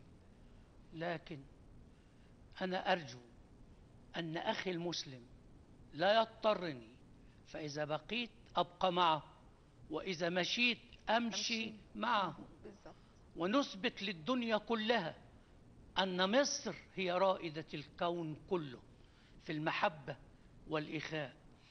نعلم الناس ولا نتعلم منهم. نكون قدوة للآخرين ولا نقتدي بهم. فأن مصر بما حباها الله من حكمة وعراقة وأصل وحضارة مرشحة ومهيئة لأن تجلس على منبر التعليم في العالم كله لتقول تعلموا مني فإني أم الحضارة. أنا لا أستكثر على الله. أن يستعيد مصر إلى هذا المكان وإلى هذه المكان. مظبوط يا سيس منير ما حدش ابدا يحب يكون بره مصر. كل الناس تحب تكون في أرض مصر. لكن صعب علينا كلنا في الوقت اللي إحنا عايشين فيه آه، بقت يعني حاجة بشعة الكلام يعني. ده صحيح. حاجة صعب يعني شيء عايشينه واقع عايشينه. ل- يعني- ل- ل- لأن هناك قوة تطردني وتطاردني. بالظبط بالظبط فكله عايز يمشي كله عايز يهاجر كله عايز يخلع من البلد لكن باسم المسيح مصر هترجع تاني كلها. سلام وأمان وعدل. وسواه بين المسلم والمسيحي باسم يسوع ونصلي لأجل هذا في الوقت الجاي يلا بينا نستقبل تليفون أنا أريد يا أختي اتفضل. قبل التليفون اتفضل أن نعامل في بلدنا بما تعامل به الدول الأخرى الجاليات الوافدة إليها مظبوط. لقد زرت بلادا كثيرة وأذكر أنه في كل بلد زرته رأيت إنسان كيف بمكانه. تعامل حكومات هذه الأراضي مظبوط. الجاليات التي ترد إليها تندهشين إذا قلت لك أنه في مبلغ ما سمعت أنه في بلجيكا تعامل الحكومة البلجيكية الإسلام باعتباره دينا شرعيا. بل وأكثر من ذلك وأرجو أن أكون مدققا فيما سمعت إن الحكومة البلجيكية. تصرف معونة مادية للدعاة وأئمة المساجد. شايف؟ توقيرا لهم. في مساواة مظبوط. ولكي تعطيهم. مفيش تفرقة. زرت اليابان في سنة 73 لأحضر مؤتمر ديني دولي للكنيسة هناك. وفي المؤتمر التقيت برئيس مجمعنا هناك. وسألته كم عدد اليابانيين؟ أجابني أنهم مائة مليون. هكذا كانوا في ذلك الحين. مئة مليون. قلت كم عدد المسيحيين؟ أجابني إن هؤلاء المسيحيين لا يتجاوزون عشر مليون مائة مليون من عشر مليون. قلت له وكيف يعامل المسيحيون؟ أجابني بقول غريب. قال إننا نحن المسيحيين نشكل رعبا على الأكثرية قلت له كيف؟ لحساسية الدولة لئلا يضار المسيح لأنه أقلية فإن من يمسه لا يعلم إلى أين يذهب. ورأيت بعيني كيف أن المسيحيين من أعظم رجالات الدولة هناك لا تفرق الدولة بينهم. ده اللي إحنا عايزينه في مصر يا أسيس. وبين سكان ال ال. اليابان من ال قلت ماذا قلت؟ قلت مائة مليون؟ نعم. قال إن الأقلية تشكل رعبا على الأكثرية. وذلك لأن الحكومة حساسة من جهة أي شيء يمس بالمسيحيين هناك. زرت كوريا. وكوريا أصلا وثنية. من مائة سنة لم يكن فيها مسيحي. رأيت قباب الكنائس تعلوها الصلبان حتى لو كما لو كنت قد زرعت المدينة صلبانا. وتساءلت كيف يعيش المسيحيون هنا؟ فقالوا إن الرئيس رئيس الدولة كوريا الجنوبية مسيحي. ورئيس الوزراء مسيحي. رئيس الدولة هو مسيحي بروتستانتي. ورئيس الوزراء مسيحي مسيدوستي هل يتصور هذا أحد؟ شعب يترك الدين لله. هو العلاقة التي تربط بين الإنسان وإلهه. بالظبط والوطن للجميع. لماذا؟ مظبوط. لماذا نفكر في في كره الآخرين وإبادة الآخرين؟ دخلت كسرت ونوقع الدين. أنفسنا في مشاكل لا حصر لها. آمين. تعالى نستقبل مع بعض تليفون أسيس آمين. أهلا بيكم قناة الطريق اللقاء الروحي مين معانا. مرحبا من عراق وياك عاشوري أهلا بيك أهلا بيك وكل أهل العراق. هلا اتفضل هلا واختي ممكن أتكلم ويا حضرة القس آه طبعا آمين. اتفضل سامعك الاسيس اتفضل إيه، أريد أقول له من ساعدوا على الأمريكان دخلوا على العراق. إيه، حضرة القس على أساس مصر ساعدوا الأمريكان دخلوا على العراق. بلي. زين من دخلوا على العراق استووا بالعراق صار عشر سنين بالعراق مليونين شيعي وسني انقتلوا مليون ونص مسيحي آشوري بالذات. كله انطلع على الخارج طلعوهم. أمريكان من إجوا على العراق إجوا بالنسبة للمسيحيين لا خلوا آشوري ولا كلداني ولا خلوا كنيسة. آخر كنيسة اللي تفجرت بسيدة النجاة أيادي إسلامية.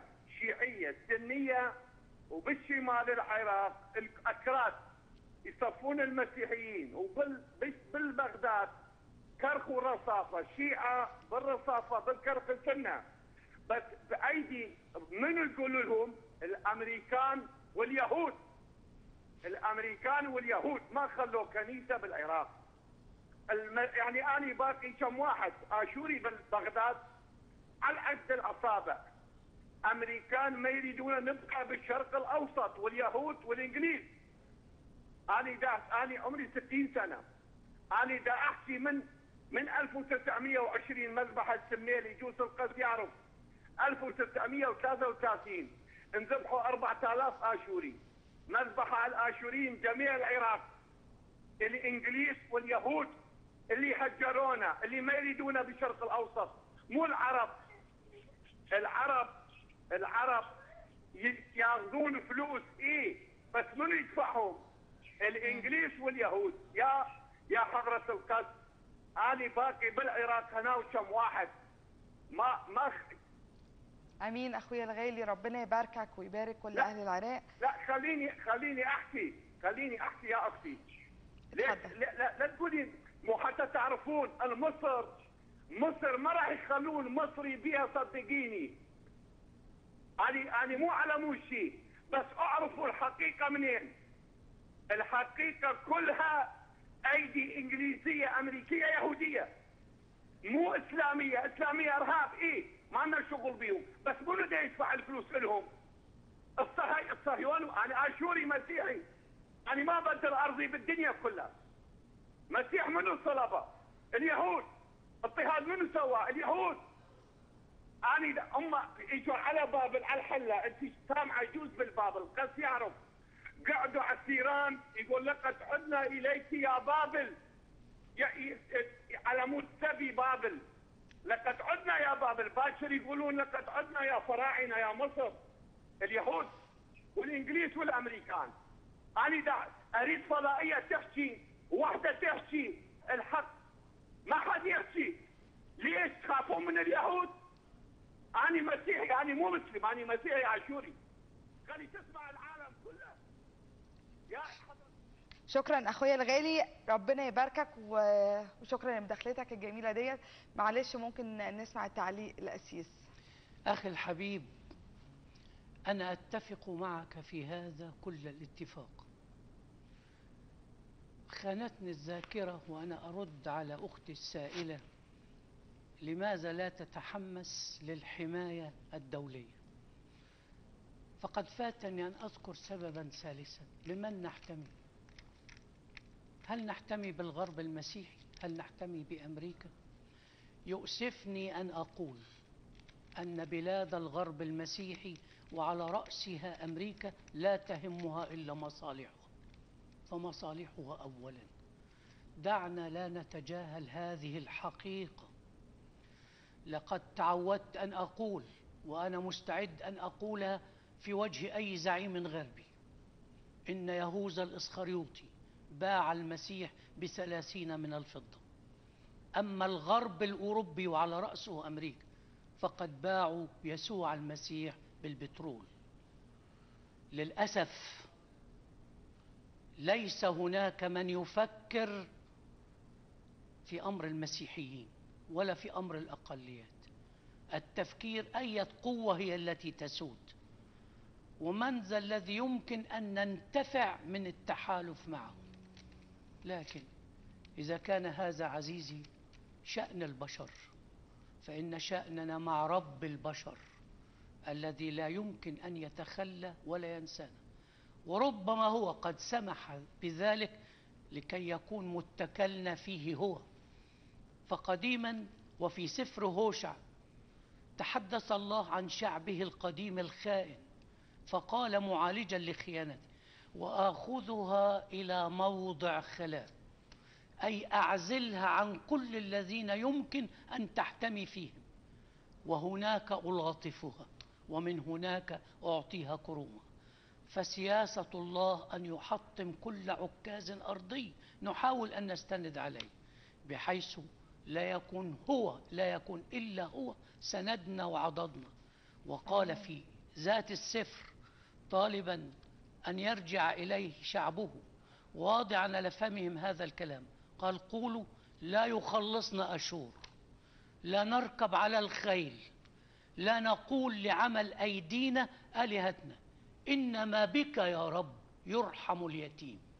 كأني أنا يتيم وأنت الأب والأخ والأم والكل في الكل. آمين باسم يسوع. ملناش عكاز غير نعم. المسيح. هو سندنا الحقيقي نعم. في الدنيا ديت. بك يرحم اليتيم. آمين باسم يسوع. ناخد تليفون آخر. قناة طريق اللقاء الروحي مين معانا؟ ألو؟ ألو مساء الخير اتفضل. مساء الخير. أيوه. اتفضل. أنا أمجد أنا أمجد من من الأقصر. أهلا بيك يا أخي أمجد. أنا عاجبني الكلام بتاعكم كتير قد إيه هو مليان تعزية. اشكر الرب وبيعزينا رغم إن إحنا بنمر في أوقات صعبة جدا. وحاسين إن إحنا لوحدنا رغم بنتكلم وبنقول. وقد إيه الظلم واقع علينا بس إحنا يعني أنا واثق إن ربنا سمعنا. وأنا. واثق إن عدالة السماء هتاخد مجراها. يعني قد إيه عدال العدالة الأرضية ميزانها مال. يعني واتقلبت الحقائق. وكلام اتكذب رغم الفيديوهات ورغم اللي اتشاف في التلفزيونات. قد سمعنا إن القنوات المصرية أنقذت.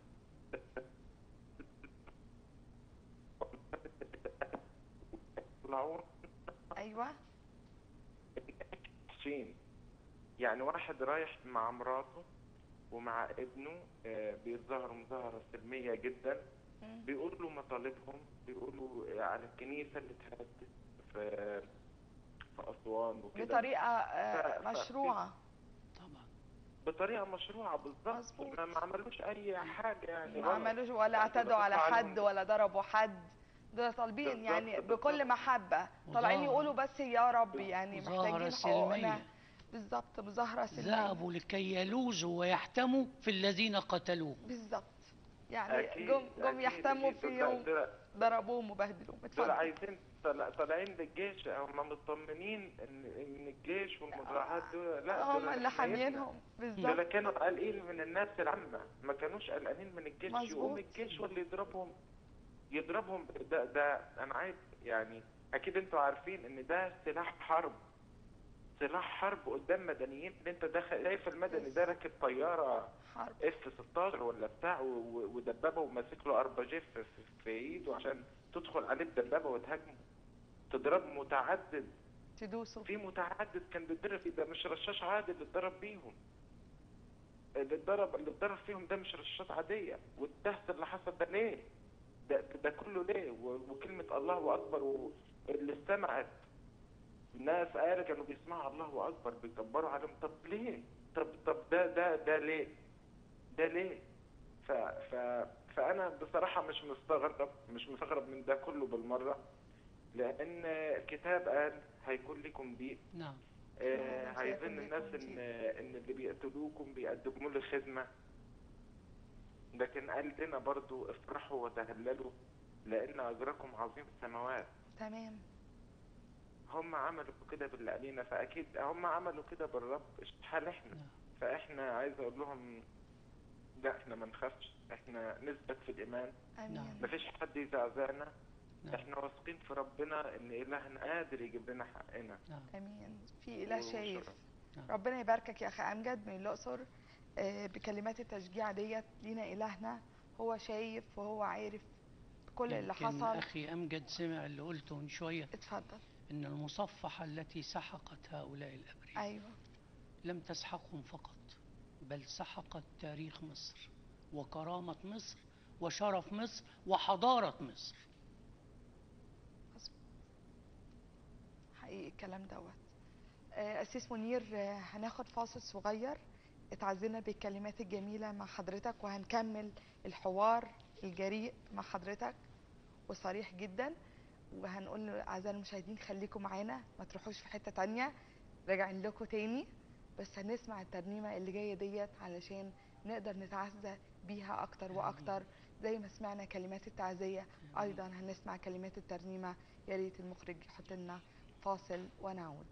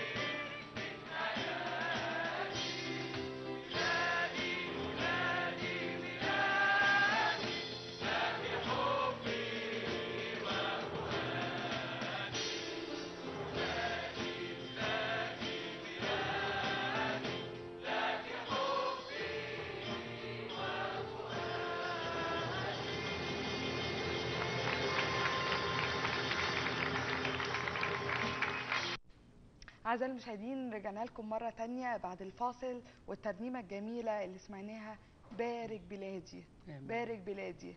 يا رب بارك بلادنا الحبيبة مصر يا رب. يا رب أنت مشيت على أرضها. عشان كده يا رب مستنيينك بقوة تزلزل تزلزل مصر يا رب وترجع الحب والسلام مرة تانية في أرض مصر. التجمع اللي إحنا شفناه من شوية في الترنيمة كان أكبر تجمع في أسيوط. من كل الطوائف وده اللي ساعدني جدا اللي دلوقتي اللقبات كلهم بكل الطوائف بقى واحد في المسيح. ما فيش حاجة اسمها طائفة فلانة طائفة فلانة لكن كلنا اتحدنا وبقينا جسد واحد وروح واحد في المسيح. عشان نعم. كده بننادي ونقول له يا رب بارك بلادنا بكل اللقبات اللي في مصر. حماية خاصة ارسل يا رب حماية خاصة ليهم باسم رب يسوع. قبل ما يكون لينا الحديث مرة تانية أنا سعيدة جدا يكون معايا جناب الأسقف منير حكيم آه، رئيس المجمع آه، لنهضة القداسة في مصر وكمان راعي كنيسة نهضة القداسة في القللي أهلا بيك مرة تانية يا أهلاً. بعد الفاصل. وتعالى نستقبل تليفون مع بعض ونكمل الحديث مع حضرتك.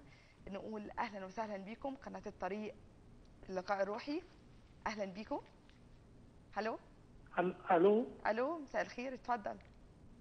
مساء الخير. أنا بكلم حضرتك من مصر الحقيقة ومن على فراش المرض لأن عامل عملية جراحية فاطلب صلاة الأسيس منير. ألف في سلامه نفس الوقت أحب أعمل مداخلة وأحط عنوانها آه، عظتين الحقيقة اتغرسوا جوانا من تعاليم الأسيس منير. عظة باسم مؤمنون ضد النار والعظة الثانية قديسون في بيت قيصر. وأقول له أنا ابنك ميلاد بكلمك من القاهرة. وعايز أقول إنه الكلام المشجع والمعزي المليان بالحكمة والاستنارة اللي القسيس منير بيعلنه النهارده بيحول قلوب الناس وأفكارها من الانزعاج والمخاوف ويقول لهم خلي بالكم إنه حتى لو في نار لكن الله أوجد لي مؤمنين ضد النار. نعم.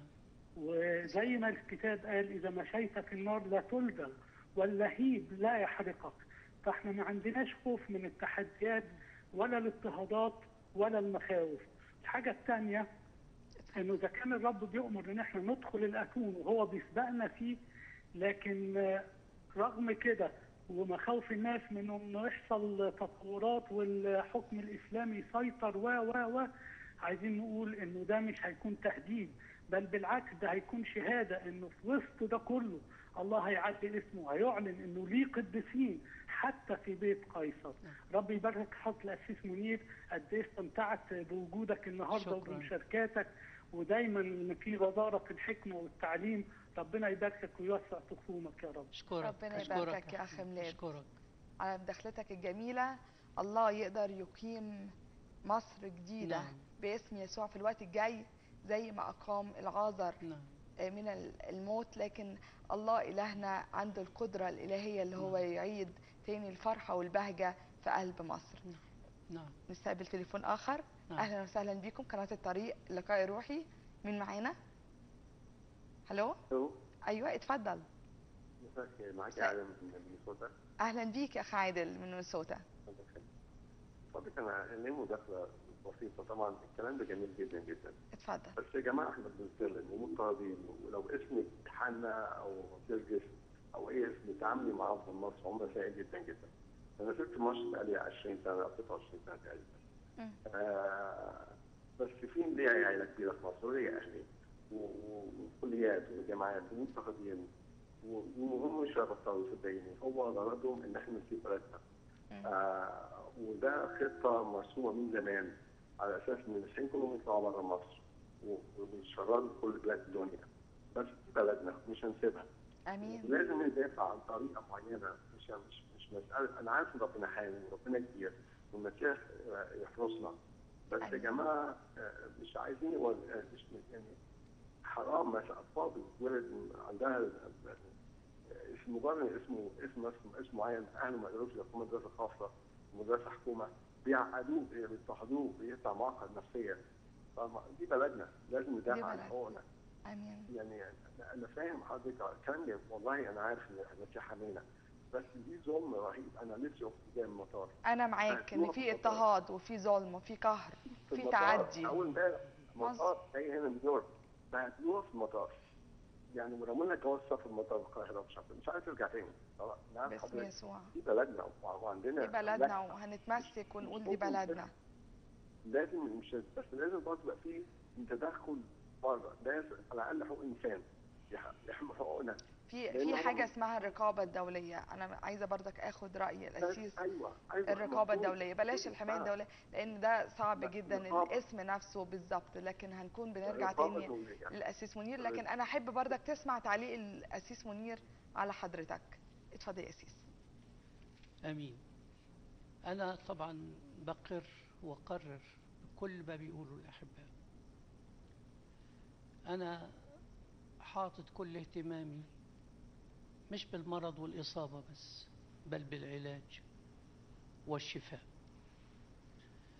تصحيح العبارة من حماية دولية إلى رقابة دولية هذا أستريح له تماما. آمين. وهو شيء لا نصنعه لكنه قائم بالفعل. مظبوط. الرقابة الدولية قائمة أراد الناس أو لم يريدوا. الرقابة الدولية مصر مشتركة فيها وحقوق الإنسان مصر كدولة عريقة مشتركة فيها. ثم إذا كنت أخشى أنا من يراقبني فمعنى هذا أن ما أفعله صح. مش تمام. لكن إذا كان اللي أنا بعمله تمام تمام ما فيش رقابة ما ده فيش عين تبقى ورايا. ده أنا أتشرف بأي رقابة تيجي علشان تشوف أنا بعمل إيه. إذا من يخشى الرقابة الدولية يبقى بيعمل حاجة يريد أن يعيش في ظلام ويريد أن يعيش في تعتيم. مظبوط. وإذا هو تجاهل الرقابة الدينية الدولية فهي لا تتجاهله أبدا. موجودة. أبدا لابد. فالصوت لابد أن يسمع. مظبوط. وكل في كل بلد سفارات كل الدول الأخرى وكل شيء يجري أمام العيان. فعوضا عن أن أنبذ الرقابة دا دعني أطالب بها. وأقول تعالوا راقبوني انظروا ماذا أفعل. لا أفعل شيئا أنا أخجل أن يراه العالم ولا أن يبصره العالم. فمرحبا بالرقابة الدولية. كان أنت في النور بتخاف ليه؟ طبعا مظبوط. ما فيش أي حاجة تخوف مفيش حاجة تخوفني. لو أنت ماشي صح ومعتدل وفي مساواة وفي عدل في البلد إيه اللي يخوفني ثم أنا لا أستطيع أن أعيش وحدي. صح. أنا محتاج للدول الأخرى.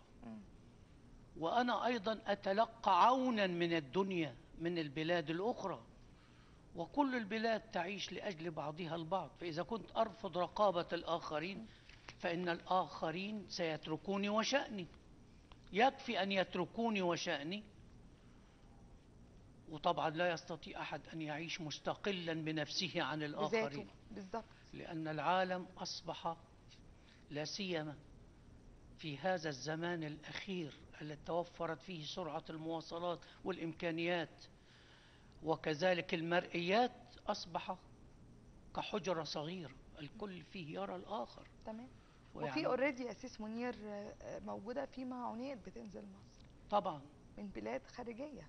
بلا شك. أوروبية وأمريكية. ونحن نتقبلها وهذا لا يعيبنا. بالظبط بالظبط لا يعيبنا أننا في عوز مادي اقتصاد أو. اقتصادي أمريكا. الآن تدخل في اقتصاديات صعبة وضيقة مع. أنها سيدة العالم في الاقتصاد فليس عيب ومصر في يوم من الأيام كانت من أغنى دول العالم. حتى أن إخوتنا العرب يطلقون على الفلوس كلمة مصريات أو مصاري مم. والكتاب يتحدث عن خزائن مصر ومصر في يوم من الأيام كان خيرها ينقذ العالم من المجاعة في أيام يوسف. فإذا كنا قد وقعنا في ضيق مادي أو اقتصادي فهذا ليس عيب. ولا عيب ولا لكن حرام. أن نقع في عجز أقول أقول إيه في مثالياتنا في مبادئنا آه، في آه، حاض- حضارتنا. هذا هو العجز الحقيقي الذي نلام عليه. آمين. نستقبل تليفون آخر. اتصال آخر. قناة الطريق اللقاء الروحي. أهلا بيكم ألو ألو ألو مساء الخير. اتفضل. مساء مساء الخير يا آه، أنا بطرس من باريس. آه أهلا بيك يا اخ بطرس من باريس. آه، الحقيقة يعني أوجه يعني عتاب على ندوة روحية قبل كده تحت عنوان ما هو الذهن المرفوض. يا جناب القس بقى مع معقول يعني. ما فيش عناوين غير كده إن نعمل ندوة على تحت اسم ما هو الذهن المرفوض. هل أنت توافق على ذلك؟ ثم إنه يطرح سؤال على الجمع بالتليفون عرفونا ما هو الذهن المرفوض طب خليها ما هو الذهن المقبول أو ما هو الوقت المقبول. ففي هذه روحنا يعني بصراحة يعني حاجات تموع. فنرجو من جناب القس ان يعني خليك معانا بعد إذنك. خليك معانا بعد نعم؟ إذنك. تعليقك يا اسيس بعد إذنك. أنا مش قادر أفهم مش بيقول ع... إيه. الذهن المفقود ده نحن وجدنا نحن لكي ندين الذهن المرفوض ولا نتجنبه. بل نذكر هذا الذهن المرفوض. وكل كلامنا بنناقش أن الذهن المعادي للمسيحيين في مصر هو ذهن مرفوض. مرفوض من الله مرفوض من العدالة البشرية مرفوض حتى من الأغلبية الموجودة في مصر. نحن وجدنا لكي نشهر بالذهن المرفوض وبالعقلية غير السوية وهذه هي رسالتنا. ورسالة المسيح على الأرض كانت تواجه أول ما تواجه الذهن المرفوض في اليهودية وأدت مواقفه هذه من الذهن اليهودي المرفوض إلى أن يصلب على الصليب. ففيما نؤاخذ هل تريدنا أن نمجد الذهن المرفوض؟ هل تريدنا أن نتجاهل الذهن المرفوض أم نأتي به إلى نعمة المسيح؟ لعل هذا الذهن المرفوض يستنير ويتحول إلى ذهن مقبول. ليس هذا هو القصد ليس هذا هو القصد. هم لا يفهموا ذلك. يعني لو حبينا نوجه لهم كلام هم مش هيفهموا هذا الكلام. يعني الذهن المرفوض ده مثلا دايما أنت مؤمن- مطلوب توجهه قبلوا أو لم يقبلوا أنت لازم مفروض أن تتكلم. تضيء بالنور بالظبط. والظلام يهرب من تلقاء. نفسه. مظبوط هل العلاج أن تسكت؟ المفروض أنك توجه سيدك قال اذهبوا إلى العالم أجمع واكرزوا اكرزوا بالإنجيل. للخليقة كلها. ومصر قبل أن تقبل المسيح كانت وثنية تعبد العجل ولولا أن جاء المسيح بنوره ليرفض ذهنها المرفوض ما كانت مسيحية في مصر وما كانت كنيسة في مصر. صل يا أخي. آمين. أن الله يتعامل مع كل ذهن مرفوض. آمين. باسم يسوع. ليؤتى به إلى نور المسيح. آمين. لازم نتكلم ولازم نوجههم. نعم. ما نسكتش. طبعا. مظبوط. آه، أسيس منير آه، نفسي قوي بردك آه، أتطرق لسؤال آخر مع حضرتك. يمكن السؤال دوت جميع ممكن أغلبية المشاهدين مش هقول ممكن الكل لكن أغلبية المشاهدين ممكن يكونوا بيسألوه. ما الذي كنت تتوقعه في دور الكنيسة في الوقت اللي فات في أحداث مصر؟ آه. في الحقيقة لا يمكن أن أذكر دور الكنيسة إلا وتتجلى أمامي صورة أبينا جميعا قداسة البابا شنود الثالث. فلا جدال في أنه مهما كنا طوائف مسيحية مختلفة هو بحسب موقعه وموضعه أب لينا أبونا كلنا. جميعا. أمين. وكم نشكر الله لأجل كل ما حباه الله به من حكمة وفطنة. أمين. فأنا واحد ممن يعتبرونه صمام الأمان في مصر. أمين. لكني غير متفق أن أبانا الكبير لا ينبغي أن يدخل في السياسة. بل أننا نحن مطالبون أن نكون في قلب السياسة. وأريد أن أقرر ويوافق- ويوافقني الجميع على هذا. إن أبانا القديس هذا هو واحد من ألمع السياسيين في العالم. وقد حباه الله بسياسة الحكمة والمحبة. قول لي الذي يقول لن أدخل إلى القدس إلا ومعي إخوة المسلمين. أوليس هذا أعظم قرار سياسي مدفوع بروح المسيح؟ مظبوط الذي يقول في عبارة لم يسبقه إليها أحد إن مصر ليست بلدا نعيش فيه بل يعيش فينا. فينا. أليست هذه سياسة ما أمجده وما أعظمه؟ ما هي السياسة؟ السياسة هو النظام الذي أتخذه لنفسي. أنا لي سياسة فيما آكل لي سياسة فيما ألبس لي سياسة في تربية أولادي. لي سياسة في الفكر الذي يسيطر لي. فكيف يحجب هذا عن أب كبير كهذا؟ من أعظم عقلاء العالم ومفكريه أنا أريد وأتمنى أن ما صلى لأجله المسيح يتم ويتحقق. آمين. أطلب أن يكون الجميع واحدا كما إني أنا والآب واحد. أنا أقول أريد وحدة بين المسيحيين في مصر لا لأن بل رغم أن. أقول لا لأن لأنه ليست بالضرورة أن تتفق عقائدنا جميعا. فلا أتصور أن أرثوذكسيا يترك عقيدته للبروتستانت ولا بروتستانتيا يترك عقيدته لإخوتنا الكاثوليك. هكذا اختلفنا في فروع مختلفة لكني أقول إن لم نتحد لأن نتحد رغم أن فهناك المسيح وهو أكبر ما يجمعنا. فداء المسيح والصليب هو أكبر ما يجمعنا. اسم المسيح وهو يحتوينا. وده اللي حصل. وأنا أؤمن أن هذا هو العصر الذهبي. آمين. تحت مظلة هذا الأب العظيم البابا شنودة. أن نجتمع كلنا معا. فنحن جميعا أولاده. آمين. وأنا أشكر الله وأهنئه بأنه في طاعته أعداد كبيرة من المسيحيين المستشارين والمحامين والحقوقيين والأطباء والمهندسين بل إن كل المذاهب المسيحية كل هؤلاء في طاعته ويكنون له كل الولاء. وقد جمعني به أكثر من لقاء وفي عزمي أن أول ما أفعله سألتقي به وأتعزى بالوجود في حضرته وسأعرض عليه أن محبته الكبيرة وقلبه الكبير يحتوينا جميعا.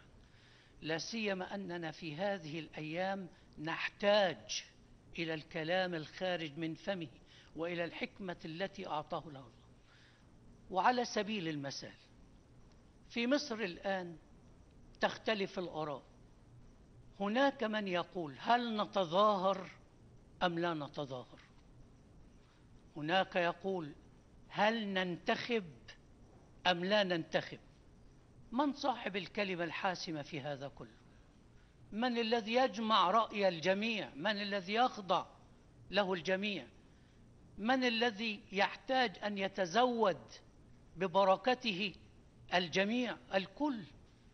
لذلك فأنا أرجو أن أجمل حصاد من كل هذه الظروف الصعبة هي أن تجمعنا كلنا معا وأن تصهرنا نار التجارب والآلام وكم أذكر له هذه البادرة الحكيمة العظيمة إن أول رد فعل له أنه قرر ثلاثة أيام للصوم صوم وصلاة بحيث يلجأ أمين. الجميع آمين كل الطوائف وأعتقد أن أمين. كل المذاهب المسيحية. وبينهم أنا. أشرنا على كنائسنا جميعا أن تصلي وتصوم إلى الله. فقد وجهنا إلى مصدر القوة الأوحد.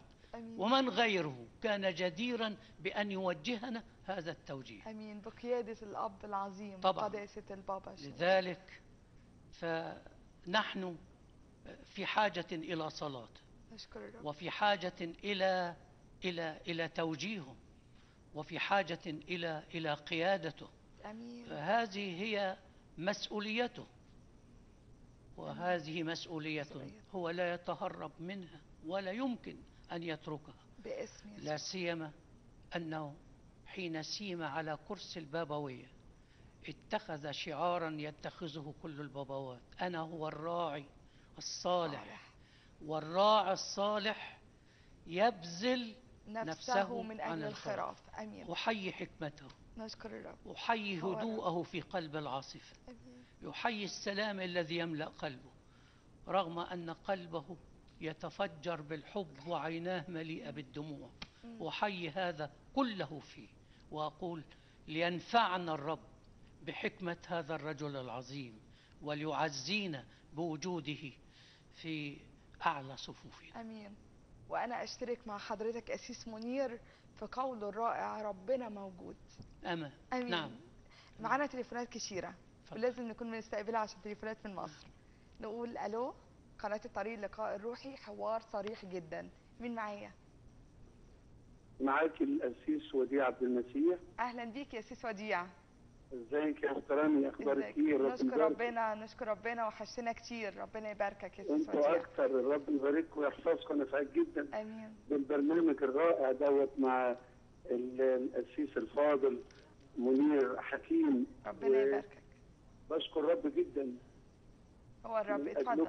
ومن أجل ال- اللقاء الروحي الجميل. ربنا أنا أول. ما شفت القسيس منير يعني قلت مش ممكن وحشني بقاله فترة طويلة جدا ما شفتوش. آمين. يلا تعالى بقى زوره. الوقت الطيب اللي كنت بزور فيه الكنيسة بتاعته وكنت مستمر أنا ووالدتي في ال- الحضور عند الكنيسة. ولا أنسى شجاعة هذا الرجل آه، العظيمة اللي في مرة من المرات طلبت مني رسميا وطلب رئيس مباحث امن الدولة في مصر أن يسلمني آه، وهو رفض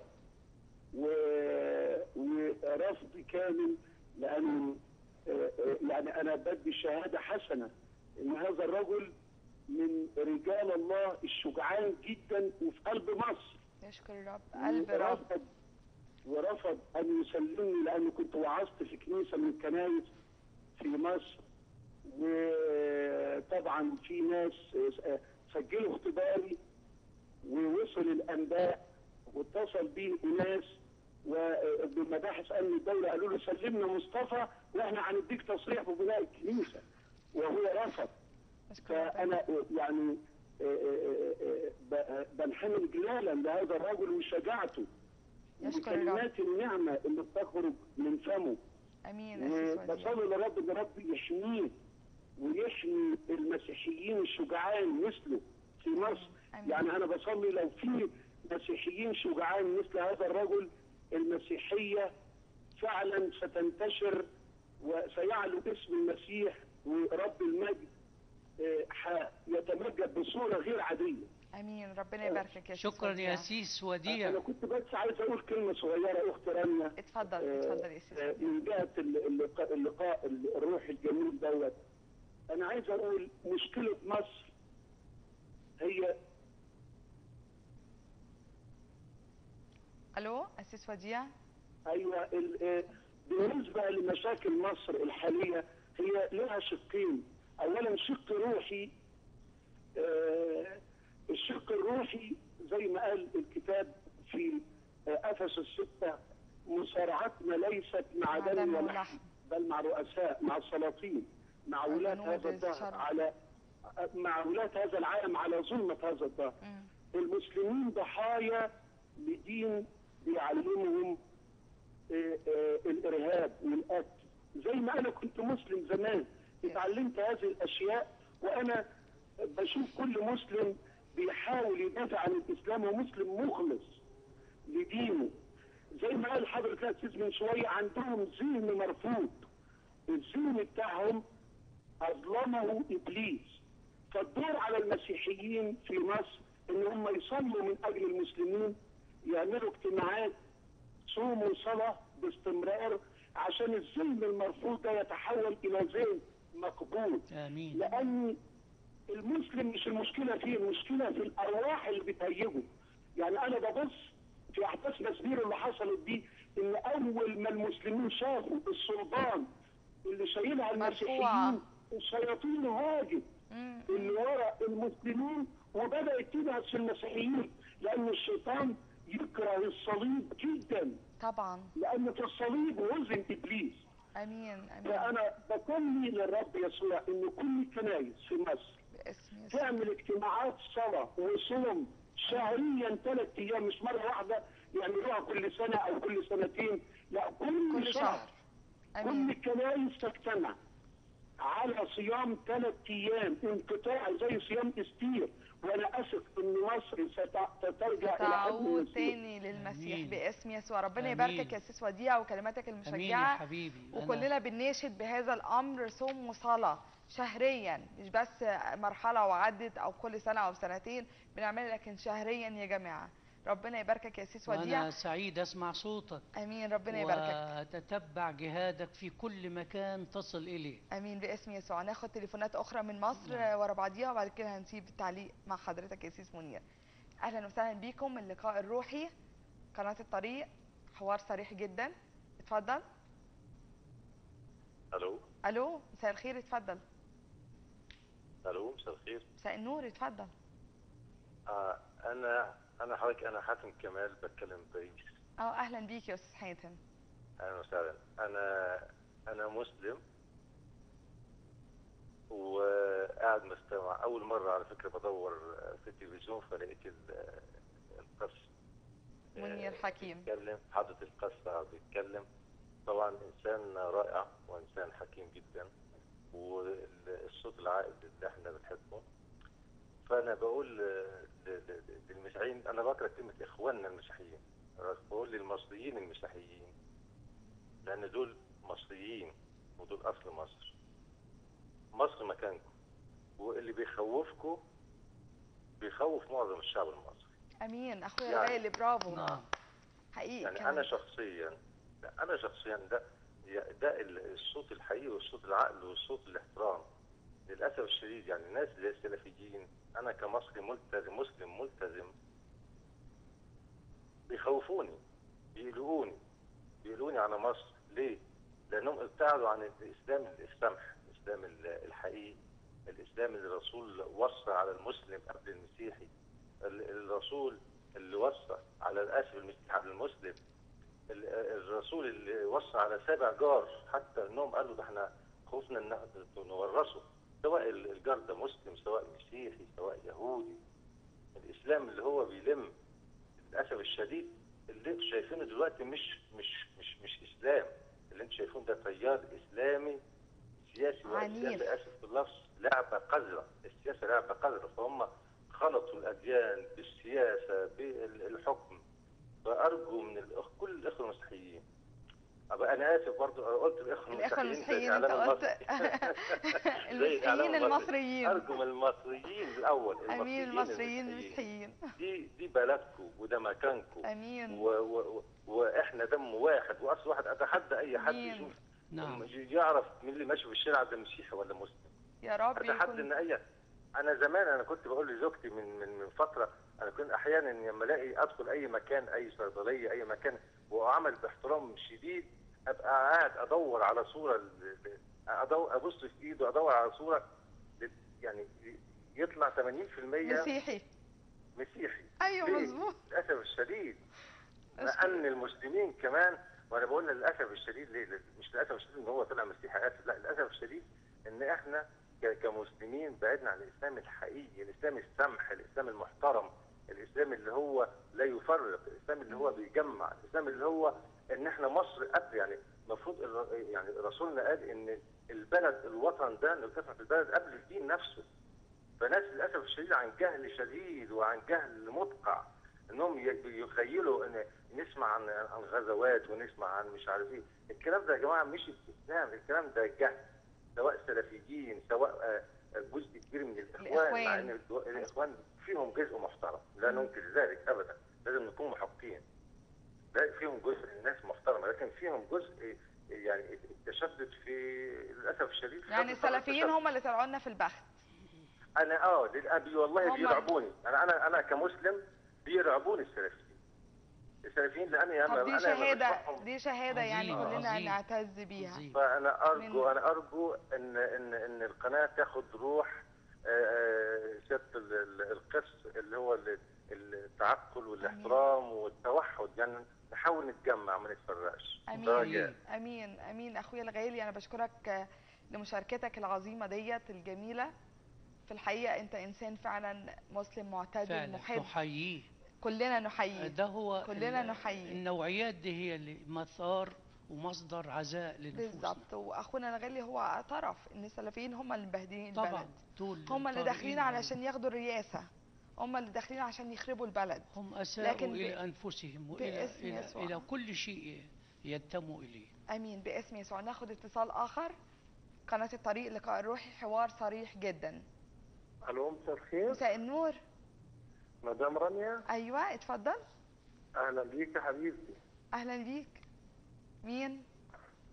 أبونا ابراهام معاك القاهرة ملاوي مساء الخير. أهلا بيك يا قدس أبونا.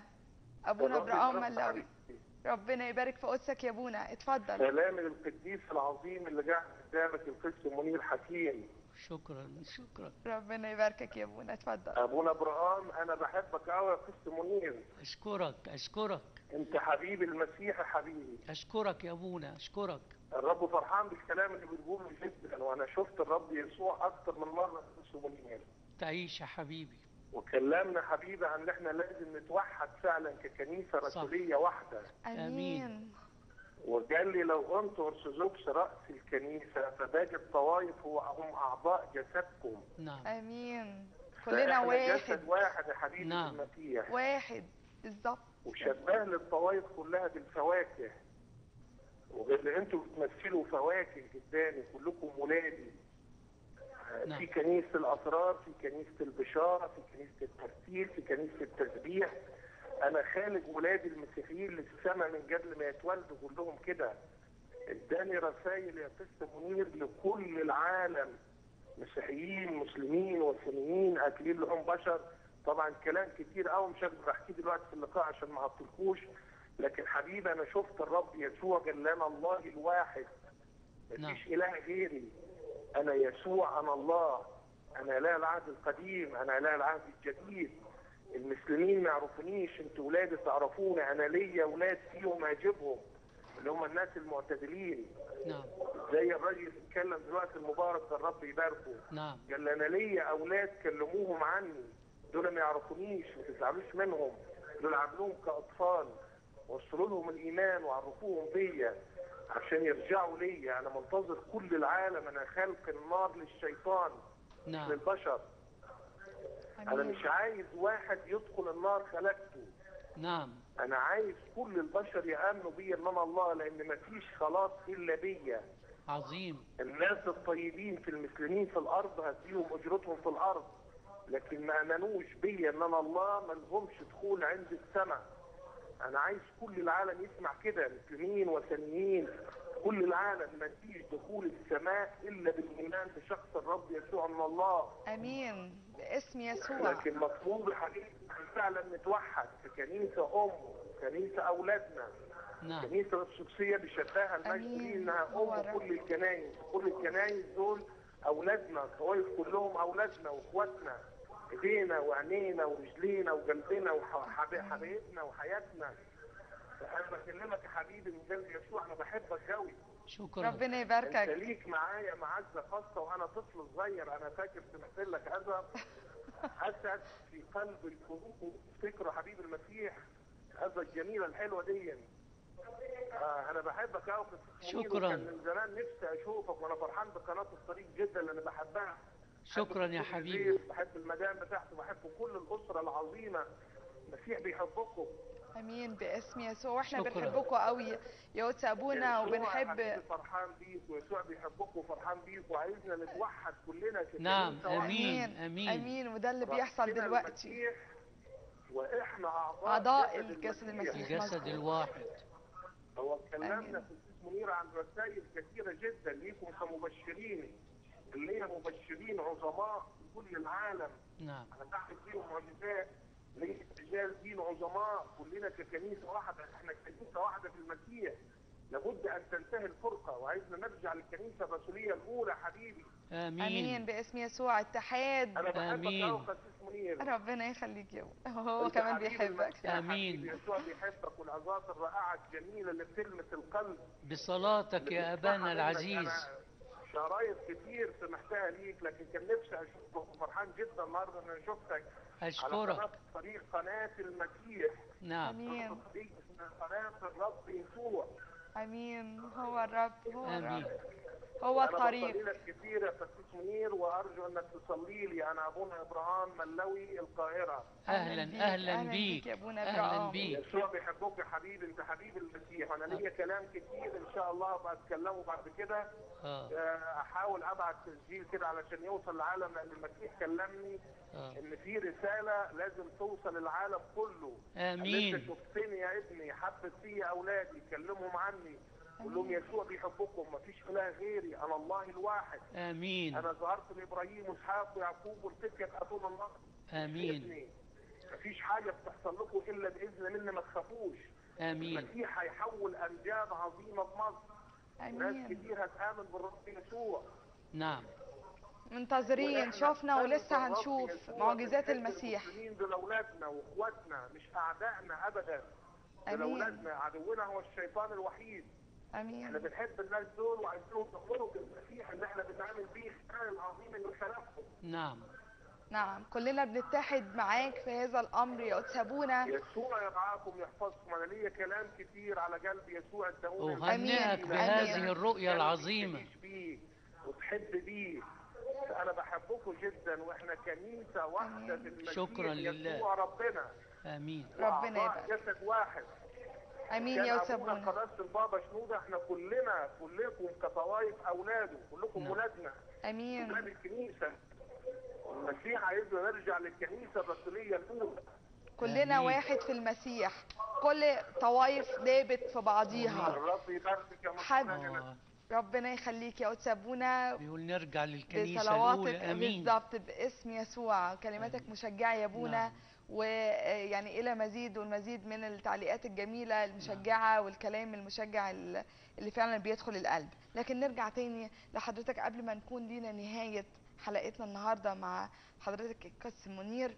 آه، نفسي قوي أسألك ما هي اقتراحاتك على للقضاء على غول التعصب الديني؟ اللي حصل في مصر. الذي يقضي ليس على الضحايا فقط لكن في نيران كثيرة يشعلها. على غول. على غول. فعلا. الكلمة فعلاً. دي صعبة قوي كلمة في في مفهومها الصحيح. مم. إن الذي يهاجمنا ويهاجم مصر هو غول. يبتلعنا والغول. عايز يبتلعنا والغول ده طبيعته توحشية. بالظبط. ماذا يفعل إلا أن يفترس ويأكل؟ مظبوط. في الحقيقة ال- السؤال ده بيتفاعل معه قلبي وذهني. كيف يمكن أن يقضى على غول هذا التعصب؟ كيف يمكن أن ننجو من هذا السرطان الرهيب؟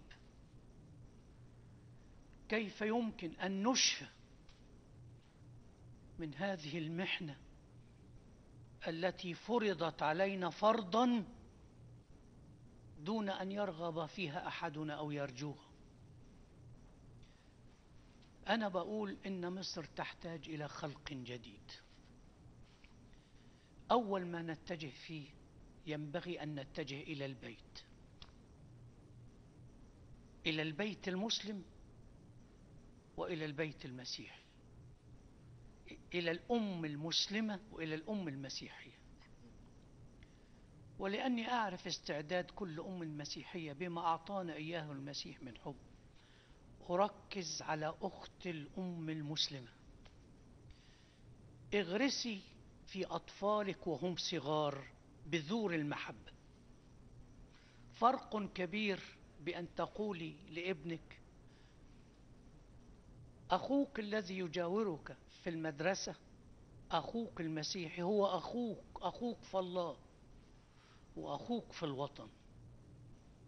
غير أن تقولي له هذا عدو لك هذا كافر. ابعد عنه. بعد عنه ما. تعاملهوش بالظبط تترسب الأحقاد في قلب صغيرك المسلم وأنت لا تخدمينه في هذا. ثم يترسب روح الظلم في داخله. داخل القلب المسيحي الطفل المسيحي الظلم الواقع عليه. مم. فينشأ يكره أخاه المسلم وينشأ الآخر يكره أخاه المسيحي. لما هذا؟ لما هذا؟ ما الذي ننتفع به من وراء هذا أو ذاك هل الله علمنا هكذا؟ الله إله الحب. لقد خلقنا الله كل ولد في دين فالمسيح ولد في بيت مسيحي أخت المسلمة لو أنت ولدت في بيت مسيحي لكنت مسيحية ولكنت تتضايقين لو وقع عليك اضطهاد بسبب دينك. قال مسيحنا عبارة أرجو أن نعيها جميعا. تعتبر في ذاتها إنجيلا كاملا ذهبيا. قال وكل ما تريدون أن يفعل الناس بكم افعلوا أنتم أيضاً. بهم هكذا. أي احبب لغيرك ما تحبه لنفسك. كل أنت تحب غيرك يعمله فيك فتصور نفسك أقلية في بلد غالبيته مسيحيون. فإذا بالمسيحيين يضطهدوك. هل كنت تقبلين على نفسك هذا؟ إذا من هذا المنطلق. ربي أولادك. على مخافة الله وعلى محبة الجميع. الأمر الثاني أتجه به إلى المدرسة. والمدرسة محطة ثانية تتلقف أبناءنا وأطفالنا. مظبوط كله بيتلقى فإذا نقينا مناهجنا مما يجعل أبناءنا يتعصبون. إذا قدمنا لهم مناهج علمية تغرس فيهم بذور الإخاء والمحبة والانتماء. نعم المدرسة عليها دور كبير لأنها المكان الذي يصنع أولادنا ويصنع بناتنا. حين ينتفي روح التمييز في المدرسة فليس هذا مسيحي وذاك مسلم وليست هذه مسلمة وتلك مسيحية. ويساوي المدرسون بين الجميع وفوق الكل الوزارة والمقررات والمناهج التي تقدم. يا جماعة أرجوكم أرجوكم باسم مصر وأرجوكم باسم المحبة وباسم الإخاء قدموا لنا جيلا جديدا. يحب الواحد فيه أخاه. بعد أن أتجه إلى البيت وأتجه إلى المدرسة أتجه إلى المسجد أتجه إلى الكنيسة أتجه إلى الأزهر وعلى رأسه رجل كاسمه طيب. أقول له أنت وقادة الكنيسة أنت وقداسة البابا شنودة. أيديكم في أيدي البعض تجعلنا كلنا نتماسك. آمين. حسنا عرفت أنك أقمت ما سميته بيت العيلة. بمعنى أنك اعتبرت أنه كلنا عيلة واحدة لتجمعنا في رحاب الأزهر الكريم. هذا شيء عظيم نشكرك لأجله. لكن برجائي ومعك قادة الدين الإسلامي وكثيرون منهم أئمة أفاضل وقادة عظماء برجاء أن توعوا الشعب المسلم بحقيقة دينه وبنصوص كتابه. فالحقيقة أن هناك نصوص كتابية يقدسها المسلمون وقد وردت في كتابهم المقدس.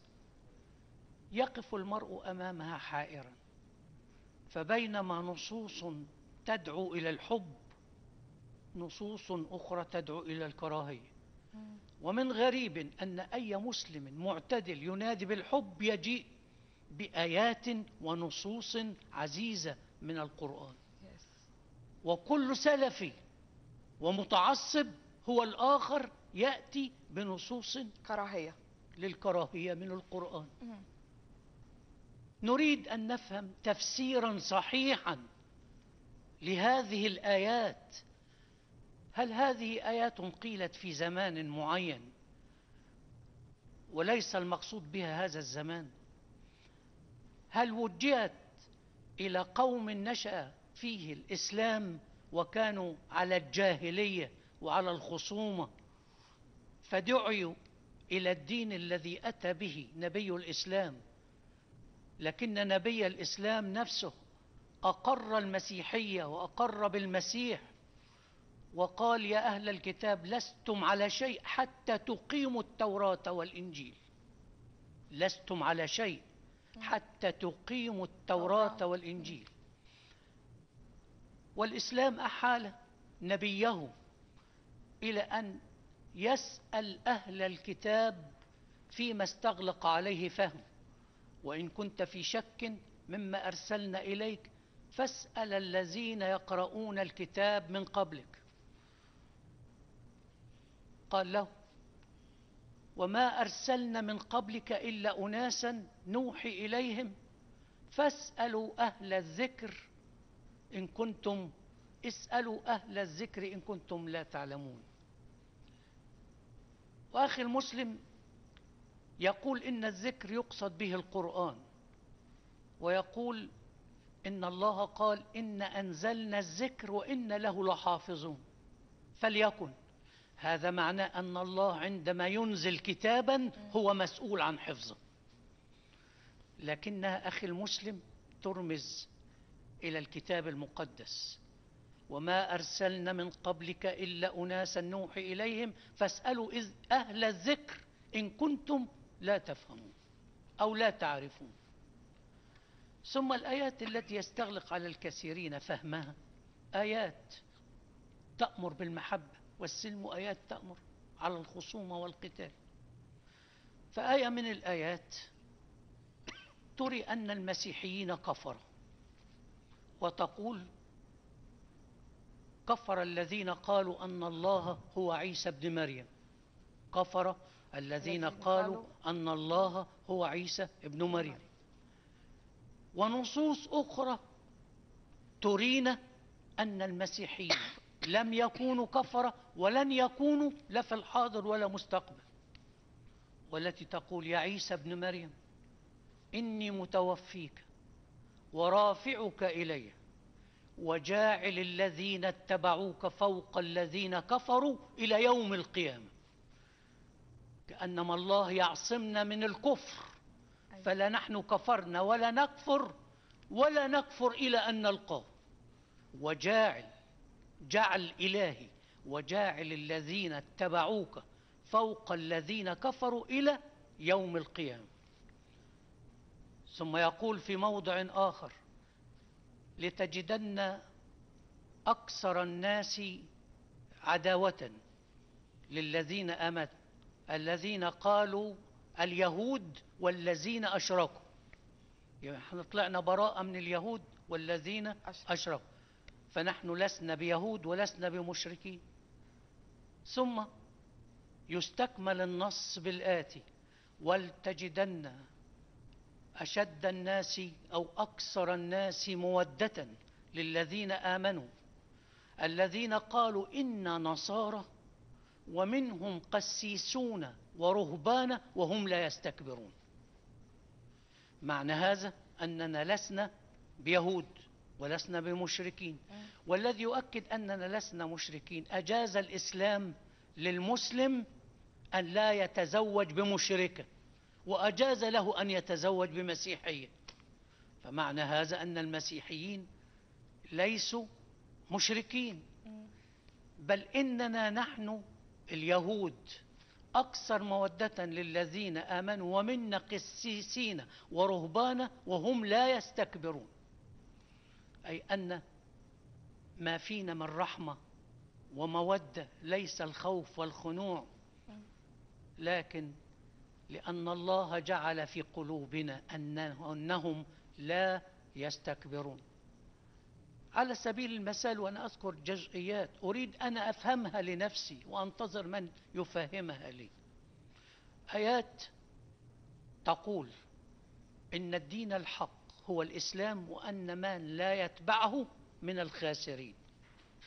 فتقول مثلا إن أكملنا لكم دينكم ورضينا لكم الإسلام دينا وإن الدين عند الله الإسلام. ومن ابتغى غير الإسلام دينا لا يقبل منه وهو من الخاسرين. وآيات تقول غير ذلك. تقول. لا إكراه في الدين. لكم دينكم ولي دين. ولي دين. لا إكراه في الدين. ولكم دينكم ولي دين. ثم القرآن مليء بالوصايا التي تأمر المسيحي أن يستمسك بدينه وأن يؤمن بكتابه وأن يرجع إليه في كل موقف. حتى أنه يقول وجعلنا من قبل كتاب موسى إماما أي أن الكتاب المقدس أي التوراة إمام على كل الكتب. وجعلنا من قبل كتاب موسى إماما. أقول لأخي المسلم كل هذا بين يديك. أنا أرجو أن ينهض الأزهر ورجال الدين الإسلامي الذين نجلهم ونحترمهم ونحبهم أن ينهضوا بتفسير هذا للجميع حتى لا يكون لبس في فهم الأمور وحتى نزداد توحدا ومحبة. قلت أتجه بهذا للبيت ثم للمدرسة ثم لرجال الدين المسلمين والمسيحيين ثم أخيرا إلى الدولة وهي ولية الأمر فينا. والمفروض أن الله أقامها لكي تحكم بالعدل بيننا. فأي عوج يستعصي إقامته أو تقويمه على أحد الدولة الراعية. هي المفروضة أن تقوم هذا العج هذا العوج. فمهمة الدولة أن ترسي النظام والقانون وأن لا تفرق وتميز بين مسلم ومسيحي لا في التعامل ولا في الوظائف ولا بناء الكنائس ولا أيضا في إباحة الصلاة للجميع لأنها علاقة بين الإنسان والله ولا في أي شيء من هذا. لا تمايز فالدولة أقامها الله. كما يعلمنا كتابنا المقدس أن السلطان مقام من الله ليحكم بالعدل. بل وأمرنا أن نصلي من أجل الذين من أجل الحكام والذين في منصب لكي نقضي حياة هادئة مطمئنة في رضا الله. باسم يسوع. آمين آمين. فأنا أتجه إلى هذه الأعمدة الحية والأسس القوية البيت المدرسة ال- الأزهر الدين الحكومة. لن تموت يا مصر. أمين. إذا أصلحت. هذه الرواسي الراسخات أمين. ستبقى رأسك مرتفع وسيبقى الحب فيك ما بقيت الحياة وما بقي النيل وما بقيت الأهرامات. أمين. ربنا يباركك يا اسيس منير على الكلمات القوية المشجعة. يا رب يكونوا دلوقتي يكونوا سامعيننا إن يكون دولة راسخة جميلة. نعم. نعيش في اطمئنان وسلام وهدوء. نعم. لكن أسيس منير جينا لنهاية حلقتنا دلوقتي. بيقولوا لي خلاص وقت البرنامج خلص. لكن أنا مش هسيبك غير لما تقول لي آخر سؤال في دقيقة واحدة. إجابة السؤال دوت. ما تقييمك لدور الميديا المسيحية في الوقت اللي فات في مواجهة الأحداث؟ بالذات اللي هي صوت صارخ في البرية في الوقت دوت. صحيح. أعدوا طريق الرب وهي قناة الطريق.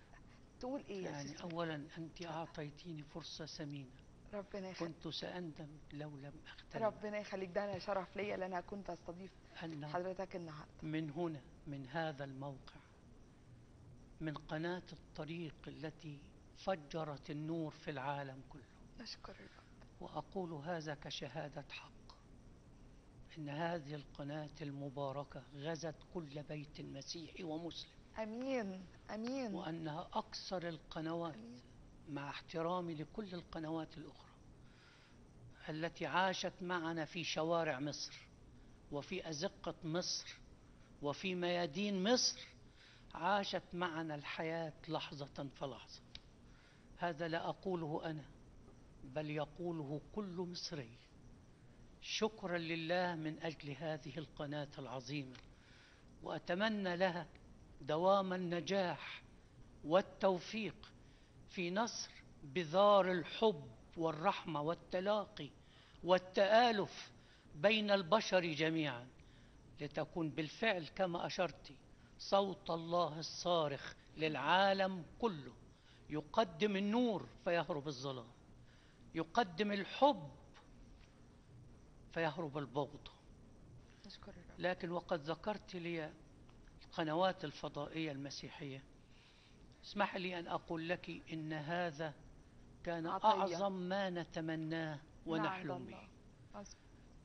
عاش العالم أيام أو بالأحرى في سنين. بعض بلاد كان محرم فيها أن يدخل الإنجيل الحدود يس ولا أذكر أن روسيا السوفيتية عندما كانت بلاد السور الحديدي القيد الحديدي كان دخول مسيحي من الحدود إلى الحدود ومعه كتاب مقدس ربما كان هذا أمر يكلفه حياته.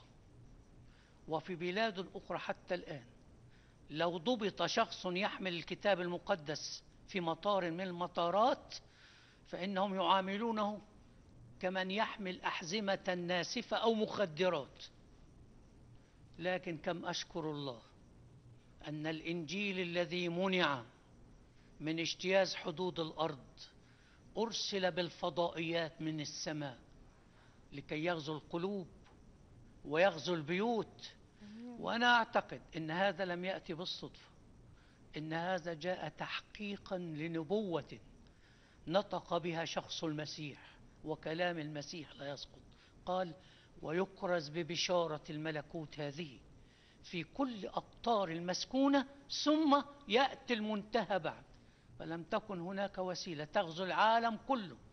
وتسمع الفضائية. الكل صوت الإنجيل تعجيلا بمجيء الرب ثانية لأخذ المؤمنين إلا هذه الوسيلة. آمين. لكن اسمح لي ولا أطيل كثيرا. اتفضل. أن أذكر في عجالة بعض عتاب لي على بعض القنوات. شكرنا الرب من أجل هذه القنوات واستبشرنا بمجيئه. لكن إن أسمع من هنا وهناك أن هناك روح عداء بين قناة مسيحية وقناة أخرى مسيحية. حتى يصل الأمر أنه إذا خدم كارز في قناة حرمت عليه القناة الأخرى أن يكرز من منبرها؟ هذا لا أتصوره. كيف نكون دعاة حب حتى للأعداء؟ ثم كل منا يعادي الآخر.